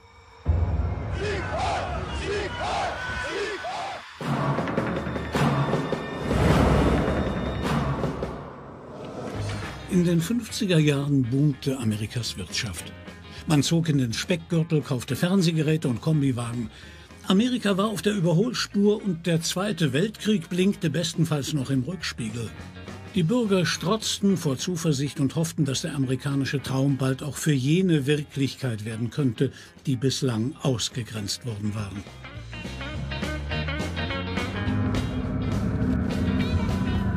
Die Forderung nach Gleichberechtigung von Minderheiten wurde lauter. Aber nicht alle begrüßten eine sozial fortschrittlichere Haltung. So mancher fühlte sich von der Idee der Gleichheit zutiefst bedroht. Und es gab Menschen, die sich wieder der Nazi-Rassenhygiene zuwandten. Sie vertraten die Ansicht, dass Weiße zur Herrschaft geboren seien und Nicht-Weiße sich zu unterwerfen hätten. So niederträchtig und hasserfüllt es auch klingt, aber es gab genug Menschen in den Vereinigten Staaten, die an die Rassenpolitik der Nazis glaubten. Zum Beispiel George Lincoln Rockwell. Der ehemalige Marineoffizier glaubte, die USA hätten im Zweiten Weltkrieg auf der falschen Seite gekämpft. Er vertrat den Standpunkt, Rassenintegration und Kommunismus gingen Hand in Hand und beides werde von Juden propagiert. Im März 1959 gründete Rockwell die World Union of Free Enterprise National Socialists, noch im selben Jahr umbenannt in American Nazi Party. I use the uniform to agitate. When Martin Luther Kuhn is out in the streets agitating, why, I agitate back. And the uniform is very good for agitating. Rockwell marschierte mit seiner uniformierten Sturmtruppe, wie er sie nannte, die Washington Mall auf und ab. Er warb vehement für die nationalsozialistische Idee. Seiner Ansicht nach war sie immer noch ausbaufähig. Und das, obwohl Millionen Amerikaner nur wenige Jahre zuvor den Nationalsozialismus Rockwell startete einen öffentlichen Kreuzzug. Sein Ziel, Amerika von allen Nicht-Weißen zu säubern. Am 25. August 1967 wurde er in Arlington auf offener Straße erschossen von einem ehemaligen Anhänger. Aber spornte sein Tod nicht erst recht andere Rassisten an, ihm in seinem Wahn nachzueifern? In der White Power Bewegung gibt es seit Gründung der American Nazi Party diverse Ableger. Das National Socialist Movement, die National Alliance, die White Aryan Resistance und Neonazi-Skinheads. Sie sind alle aus demselben Holz geschnitzt, angetrieben vom Ziel eines rein weißen Amerikas.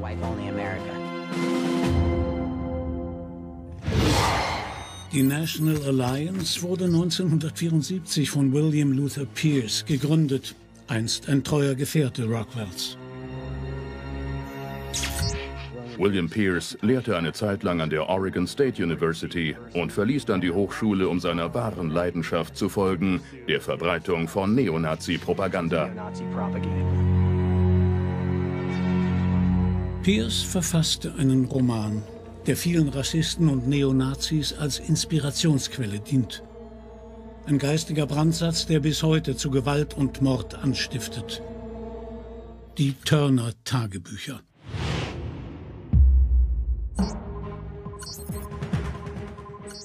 Oklahoma City, 19. April 1995. Vor dem Murrah Federal Building explodiert um 9.02 Uhr eine selbstgebaute Bombe, versteckt in einem Miettransporter.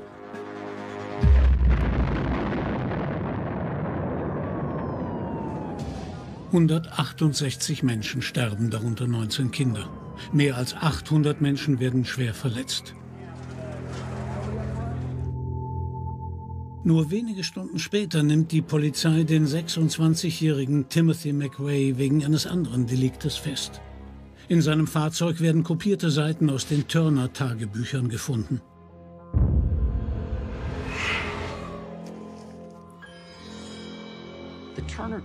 Die Turner-Tagebücher gelten als die Bibel der Rechtsradikalen in den Vereinigten Staaten.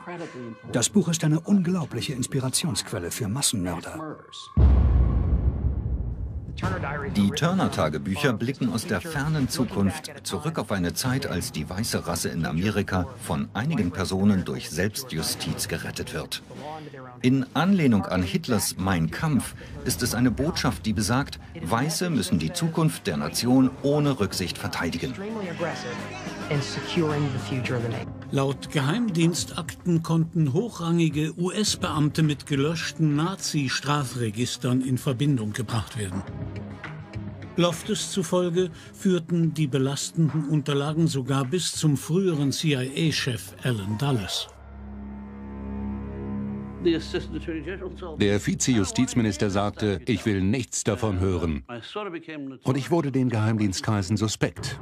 Der Kongress forderte das Justizministerium auf, das Richtige zu tun. Aber das Ministerium hinterging den Kongress und das amerikanische Volk.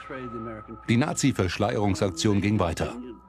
Mir war klar, meine Behörde würde sich an keiner Nazi-Aufklärung beteiligen, wenn dabei amerikanische Politiker bloßgestellt würden. Darum habe ich das Justizministerium angewidert verlassen und als Informant, als Whistleblower vor dem Kongress ausgesagt. Hat Operation Paperclip tatsächlich den Boden für rechtsextreme Gruppen in den USA bereitet? Oder war das Feld nicht ohnehin schon bestellt?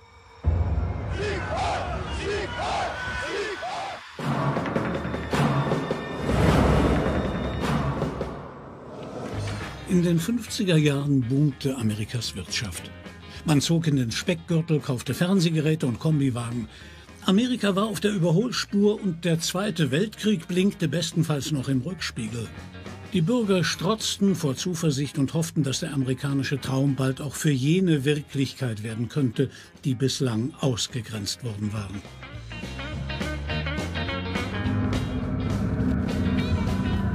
Die Forderung nach Gleichberechtigung von Minderheiten wurde lauter.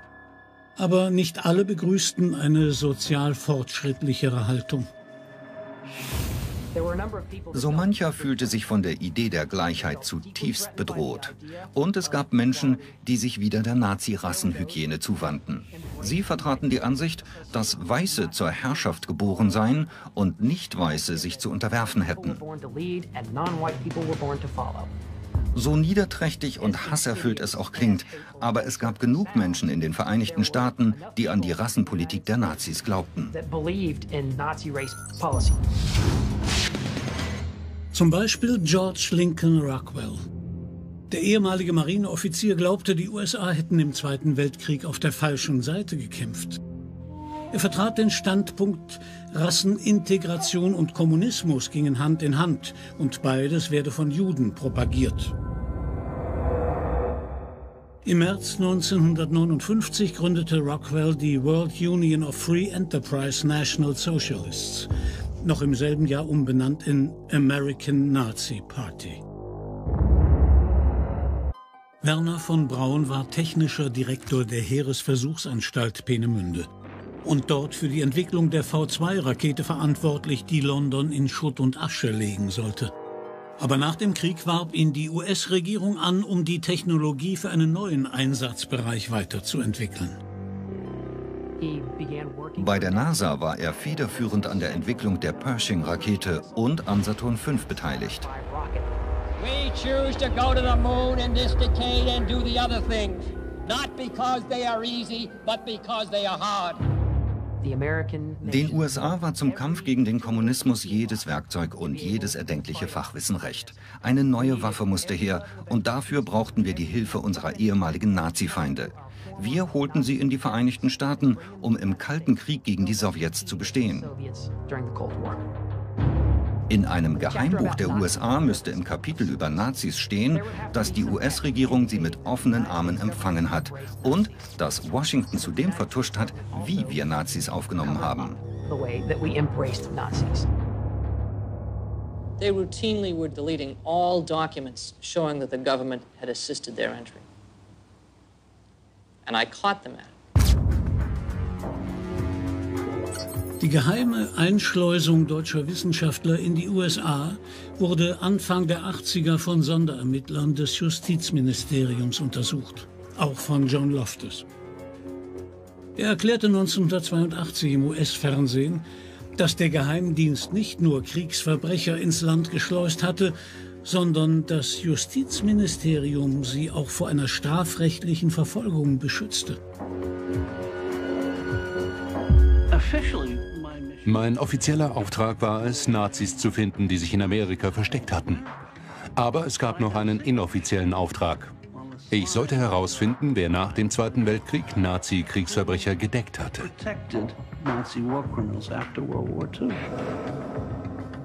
Laut Geheimdienstakten konnten hochrangige US-Beamte mit gelöschten Nazi-Strafregistern in Verbindung gebracht werden. Loftus zufolge führten die belastenden Unterlagen sogar bis zum früheren CIA-Chef Alan Dulles. Der Vize-Justizminister sagte, ich will nichts davon hören. Und ich wurde den Geheimdienstkreisen suspekt. Der Kongress forderte das Justizministerium auf, das Richtige zu tun. Aber das Ministerium hinterging den Kongress und das amerikanische Volk. Die Nazi-Verschleierungsaktion ging weiter. Mir war klar, meine Behörde würde sich an keiner Nazi-Aufklärung beteiligen, wenn dabei amerikanische Politiker bloßgestellt würden. Darum habe ich das Justizministerium angewidert verlassen und als Informator herum. Was macht das US-Militär für Neonazis so interessant? Ich bin zu den US Marines gegangen, weil ich sie für die Besten hielt. Ich wollte ihre Kampftechniken lernen und damit Leute ausbilden, wenn wir in den Krieg gegen Washington ziehen. Wir wollten die Regierung der USA mit militärischer Taktik vernichten. Ich hatte Skinhead hinten auf die Arme tätowiert und 5 cm lange SS-Runen am Hals. Ich machte den Hitlergruß und an meinem Spind hing eine Hakenkreuzfahne. Ich habe sie im Biergarten gehisst und dort ganz offen mit anderen Skinheads und Neonazis getrunken. Die Armee wusste also Bescheid. So, the military knew. Ist das Gebot, ein politisch korrektes Bild abzugeben, der Grund dafür, dass sich das US-Militär auf dem rechten Auge blind zeigt? Der braune Sumpf ist jedenfalls weitreichend. In den USA sind fast 200 Neonazi-Gruppen aktiv. In einem losen Netzwerk sind sie mit zahlreichen anderen rassistischen Hassgruppen verbunden, wie etwa den berüchtigten White Power oder Aryan Power Bewegungen. Sie alle haben sich den Kampf für die Vorherrschaft der weißen Rasse auf die Fahnen geschrieben. Anhänger der White Power Bewegung und Neonazis sind sowohl Verbündete als auch Gegner. Es gibt innerhalb der Bewegung ein starkes Gefühl der Verbundenheit, denn sie sind alle aus demselben Grund dabei, weil sie Angst haben, dass die weiße Rasse ausstirbt und sie etwas dagegen tun wollen. Hass ist etwas, das man fast schmecken kann. Es ist gefährlich, sich von Hass leiten zu lassen. Hitler hasste die Juden und wollte sie vernichten. Er hat es geschafft, fast ein Drittel der jüdischen Weltbevölkerung umzubringen. Die meisten Neonazis sind unorganisiert. Gerade die muss man im Auge behalten. Nach der Taktik des führerlosen Widerstands wird eine Gruppe ab einer bestimmten Größe in kleinere Zellen aufgeteilt. Es heißt ja, drei können ein Geheimnis wahren, wenn zwei von ihnen tot sind. Lass die Zellen also klein, dann behältst du die Kontrolle. Obwohl viele amerikanische Nazis aktenkundig sind und die US-Regierung sie beobachtet, sind ihre rassistischen Ansichten und Rekrutierungsmaßnahmen nicht rechtswidrig. Aber wie und wann hat sich die Nazi-Ideologie in den USA etabliert? Und wie gut sind die Behörden auf einen weiteren Mordanschlag wie den in Wisconsin vorbereitet?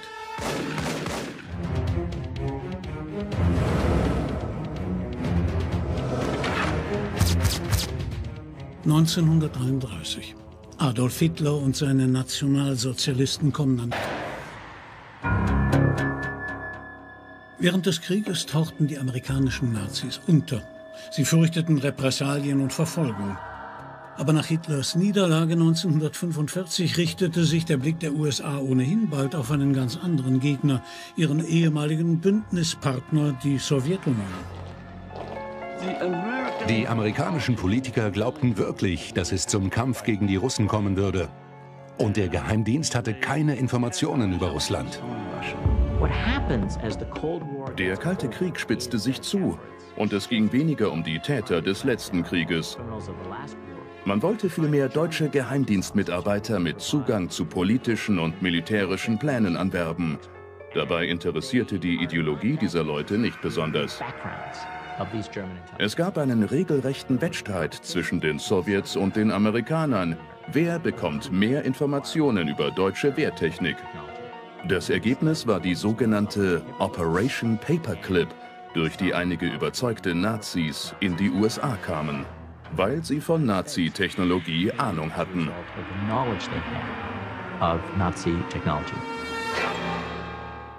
There were Viele Deutsche wollten einfach nur ihre Haut retten. Und wären sie für ihre Taten im Zweiten Weltkrieg vor Gericht gekommen, hätte man sie als Kriegsverbrecher eingestuft. Präsident Truman ordnete an, dass keine ehemaligen Nazis rekrutiert werden durften, die zu tief in die nationalsozialistische Idee verstrickt gewesen waren. Aber die Regierung umging das einfach, indem für einige der schlimmsten Täter neue Identitäten erfunden wurden.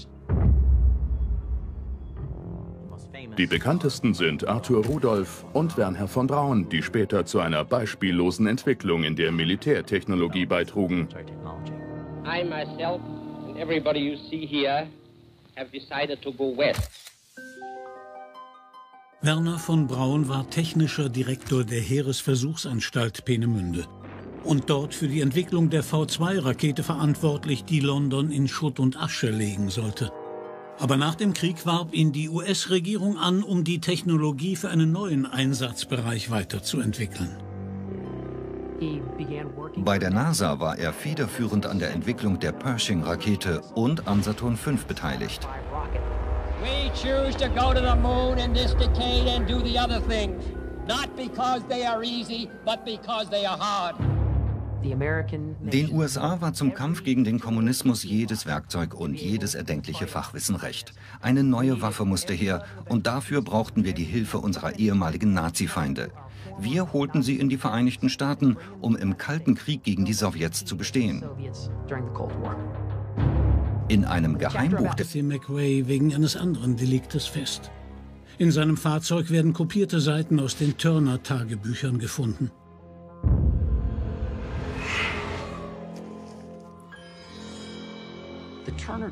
Die Turner-Tagebücher gelten als die Bibel der Rechtsradikalen in den Vereinigten Staaten. Das Buch ist eine unglaubliche Inspirationsquelle für Massenmörder. Die Turner-Tagebücher blicken aus der fernen Zukunft zurück auf eine Zeit, als die weiße Rasse in Amerika von einigen Personen durch Selbstjustiz gerettet wird. In Anlehnung an Hitlers Mein Kampf ist es eine Botschaft, die besagt, Weiße müssen die Zukunft der Nation ohne Rücksicht verteidigen. Im Buch wird ein Regierungsgebäude in die Luft gejagt. Ich glaube, McVeighs Bombe sollte zum selben Zeitpunkt wie im Buch hochgehen. Oklahoma gilt dabei als erster Schlag, so wie die ersten Gefechte im Unabhängigkeitskrieg Weltgeschichte schrieben. Obwohl er offenbar kein Mitglied von William Pierces National Alliance war, sympathisierte McVeigh mit deren regierungsfeindlicher Hasspropaganda. Er teilte also durchaus einige der Ansichten der Neonazi-Bewegung. Das Buch schwirrt immer noch herum und es wird weiter gelesen. Vielleicht gibt es genau in diesem Augenblick einen nächsten Timothy McVeigh in der Armee, der gerade gelernt hat, wie man Bomben baut. Und alles wegen Pierce. Geht die US-Regierung mit aller Kraft gegen Rechtsterroristen im eigenen Land vor? Oder ist es gerade der Antiterrorkampf, der den Zorn von weiteren Außenseitern wie Timothy McVeigh schürt?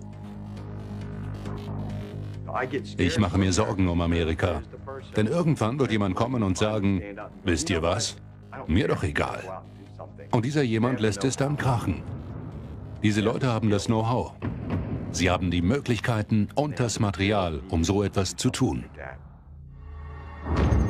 Aber wie behält die Regierung amerikanische Nazis im Auge? Und welche geheimen Methoden wenden die Rechtsextremisten an, um Mitglieder anzuwerben und zu schulen?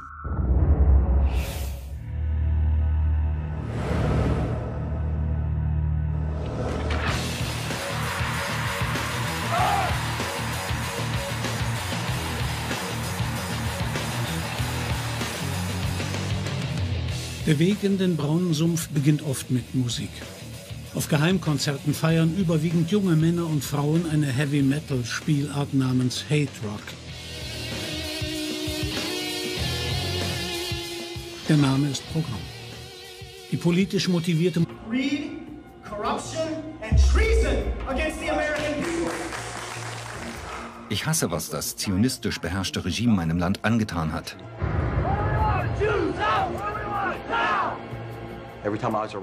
Bei jedem Treffen schüttelte er mir die Hand und sagte, Mann, David, du bist eine unserer großen Hoffnungen. Und ich wurde einer ihrer Medienleute. So konnte ich bei allen Kundgebungen und Partys dabei sein und fotografieren. Und sie ahnten nicht, dass diese Fotos im Gesichtserkennungsprogramm des FBI landen würden. David Glatty ist ein Verräter und alles, was er zu sagen hat, ist unglaubwürdig. Ich glaube, er hat sich in diese Organisation eingeschlichen, um sich zu bereichern, um mit einem Buch Geld zu machen. Wenn es stimmt, dass David Glatty von der Regierung bezahlt wurde, ist das eine Verschwendung von Steuergeldern, vergeudete Zeit, einfach lachhaft. Manchmal geht es in einen anderen Bundesstaat. Dann sitzt man da mit sechs Schlägertypen im Auto und hört sich all die Hasstiraden an, dass junge Mädchen vergewaltigt wurden und wen sie umgebracht hatten. Vor allem trinken sie gern, prügeln sich, nehmen Drogen, ziehen durch ein paar Kneipen und schlagen dann einen Schwarzen zusammen, weil er mit einer Weißen unterwegs ist. Das nimmt einen ganz schön mit. Einige Sachen, die ich miterlebt habe, Morde, Vergewaltigungen und Raubüberfälle, gehen mir einfach nicht aus dem Kopf. Als Insider konnte Gletty die verschiedenen Taktiken der Gruppe studieren. Zum Beispiel hielt das NSM rassistische Hetzreden gerne in gemischten Wohnvierteln, um so Gewalt zu provozieren.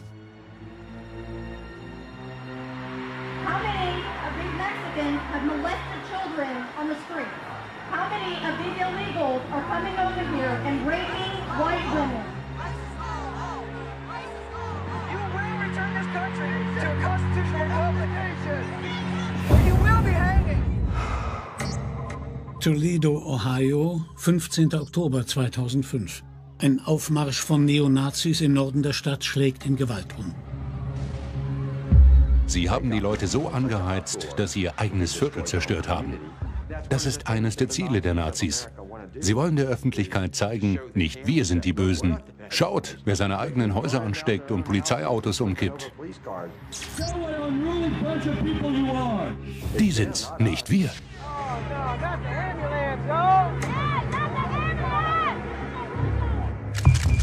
Dank David Glattys Informationen konnte das FBI die Organisation gut im Auge behalten. Aber das NSM scheint davon ziemlich ungerührt. Seine Taktik wird immer aggressiver. Wir stehen an der Front. Wir reden nicht nur über die Probleme und veranstalten Konzerte. Wir gehen auf die Straße. Bei der NASA war er federführend an der Entwicklung der Pershing-Rakete und an Saturn V beteiligt. We choose to go in this decade and do the other things. Not because they are easy, but because they are hard. Den USA war zum Kampf gegen den Kommunismus jedes Werkzeug und jedes erdenkliche Fachwissen recht. Eine neue Waffe musste her und dafür brauchten wir die Hilfe unserer ehemaligen Nazi-Feinde. Wir holten sie in die Vereinigten Staaten, um im Kalten Krieg gegen die Sowjets zu bestehen. In einem Geheimbuch der USA müsste im Kapitel über Nazis stehen, dass die US-Regierung sie mit offenen Armen empfangen hat und dass Washington zudem vertuscht hat, wie wir Nazis aufgenommen haben. They routinely were deleting all documents showing that the government had assisted their entry. And I caught them at it. Die geheime Einschleusung deutscher Wissenschaftler in die USA wurde Anfang der 80er von Sonderermittlern des Justizministeriums untersucht, auch von John Loftus. Er erklärte 1982 im US-Fernsehen, dass der Geheimdienst nicht nur Kriegsverbrecher ins Land geschleust hatte, sondern das Justizministerium sie auch vor einer strafrechtlichen Verfolgung beschützte. Mein offizieller Auftrag war es, Nazis zu finden, die sich in Amerika versteckt hatten. Aber es gab noch einen inoffiziellen Auftrag. Ich sollte herausfinden, wer nach dem Zweiten Weltkrieg Nazi-Kriegsverbrecher gedeckt hatte.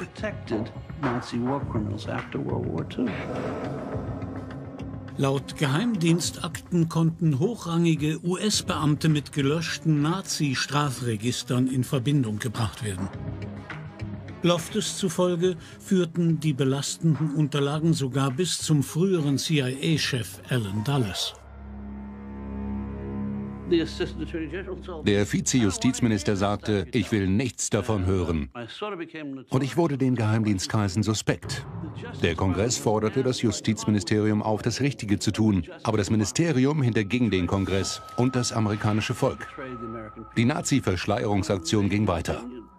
Mir war klar, meine Behörde würde sich an keiner Nazi-Aufklärung beteiligen, wenn dabei amerikanische Politiker bloßgestellt würden.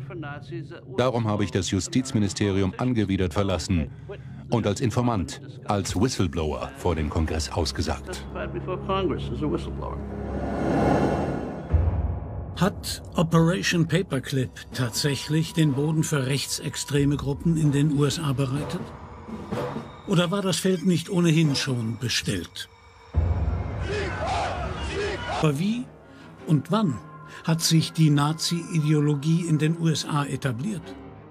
Und wie gut sind die Behörden auf einen weiteren Mordanschlag wie den in Wisconsin vorbereitet?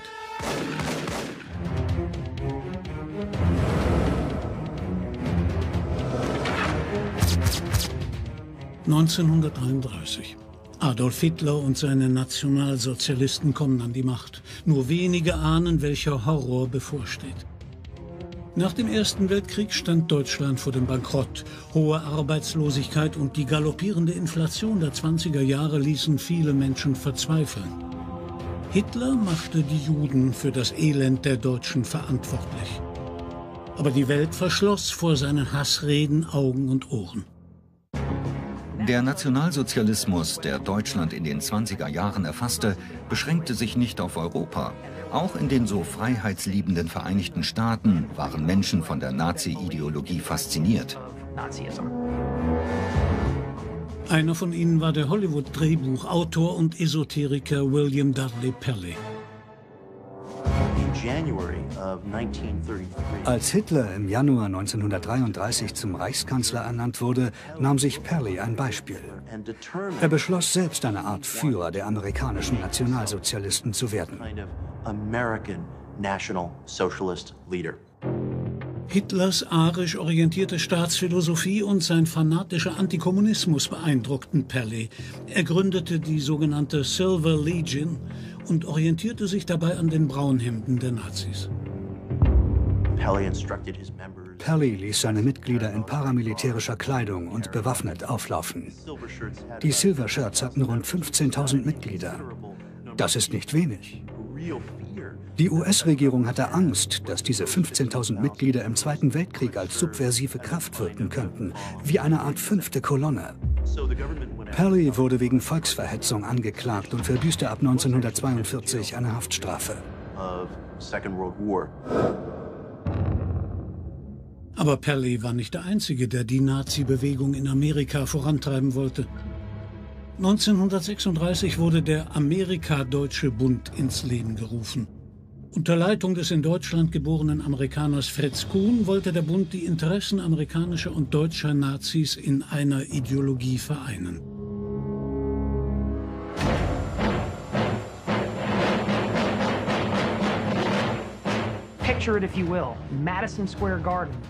Stellen Sie sich dieses Bild vor. Im New Yorker Madison Square Garden versammelten sich im Februar 1939 20.000 Nationalsozialisten, um Fritz Kuhn reden zu hören.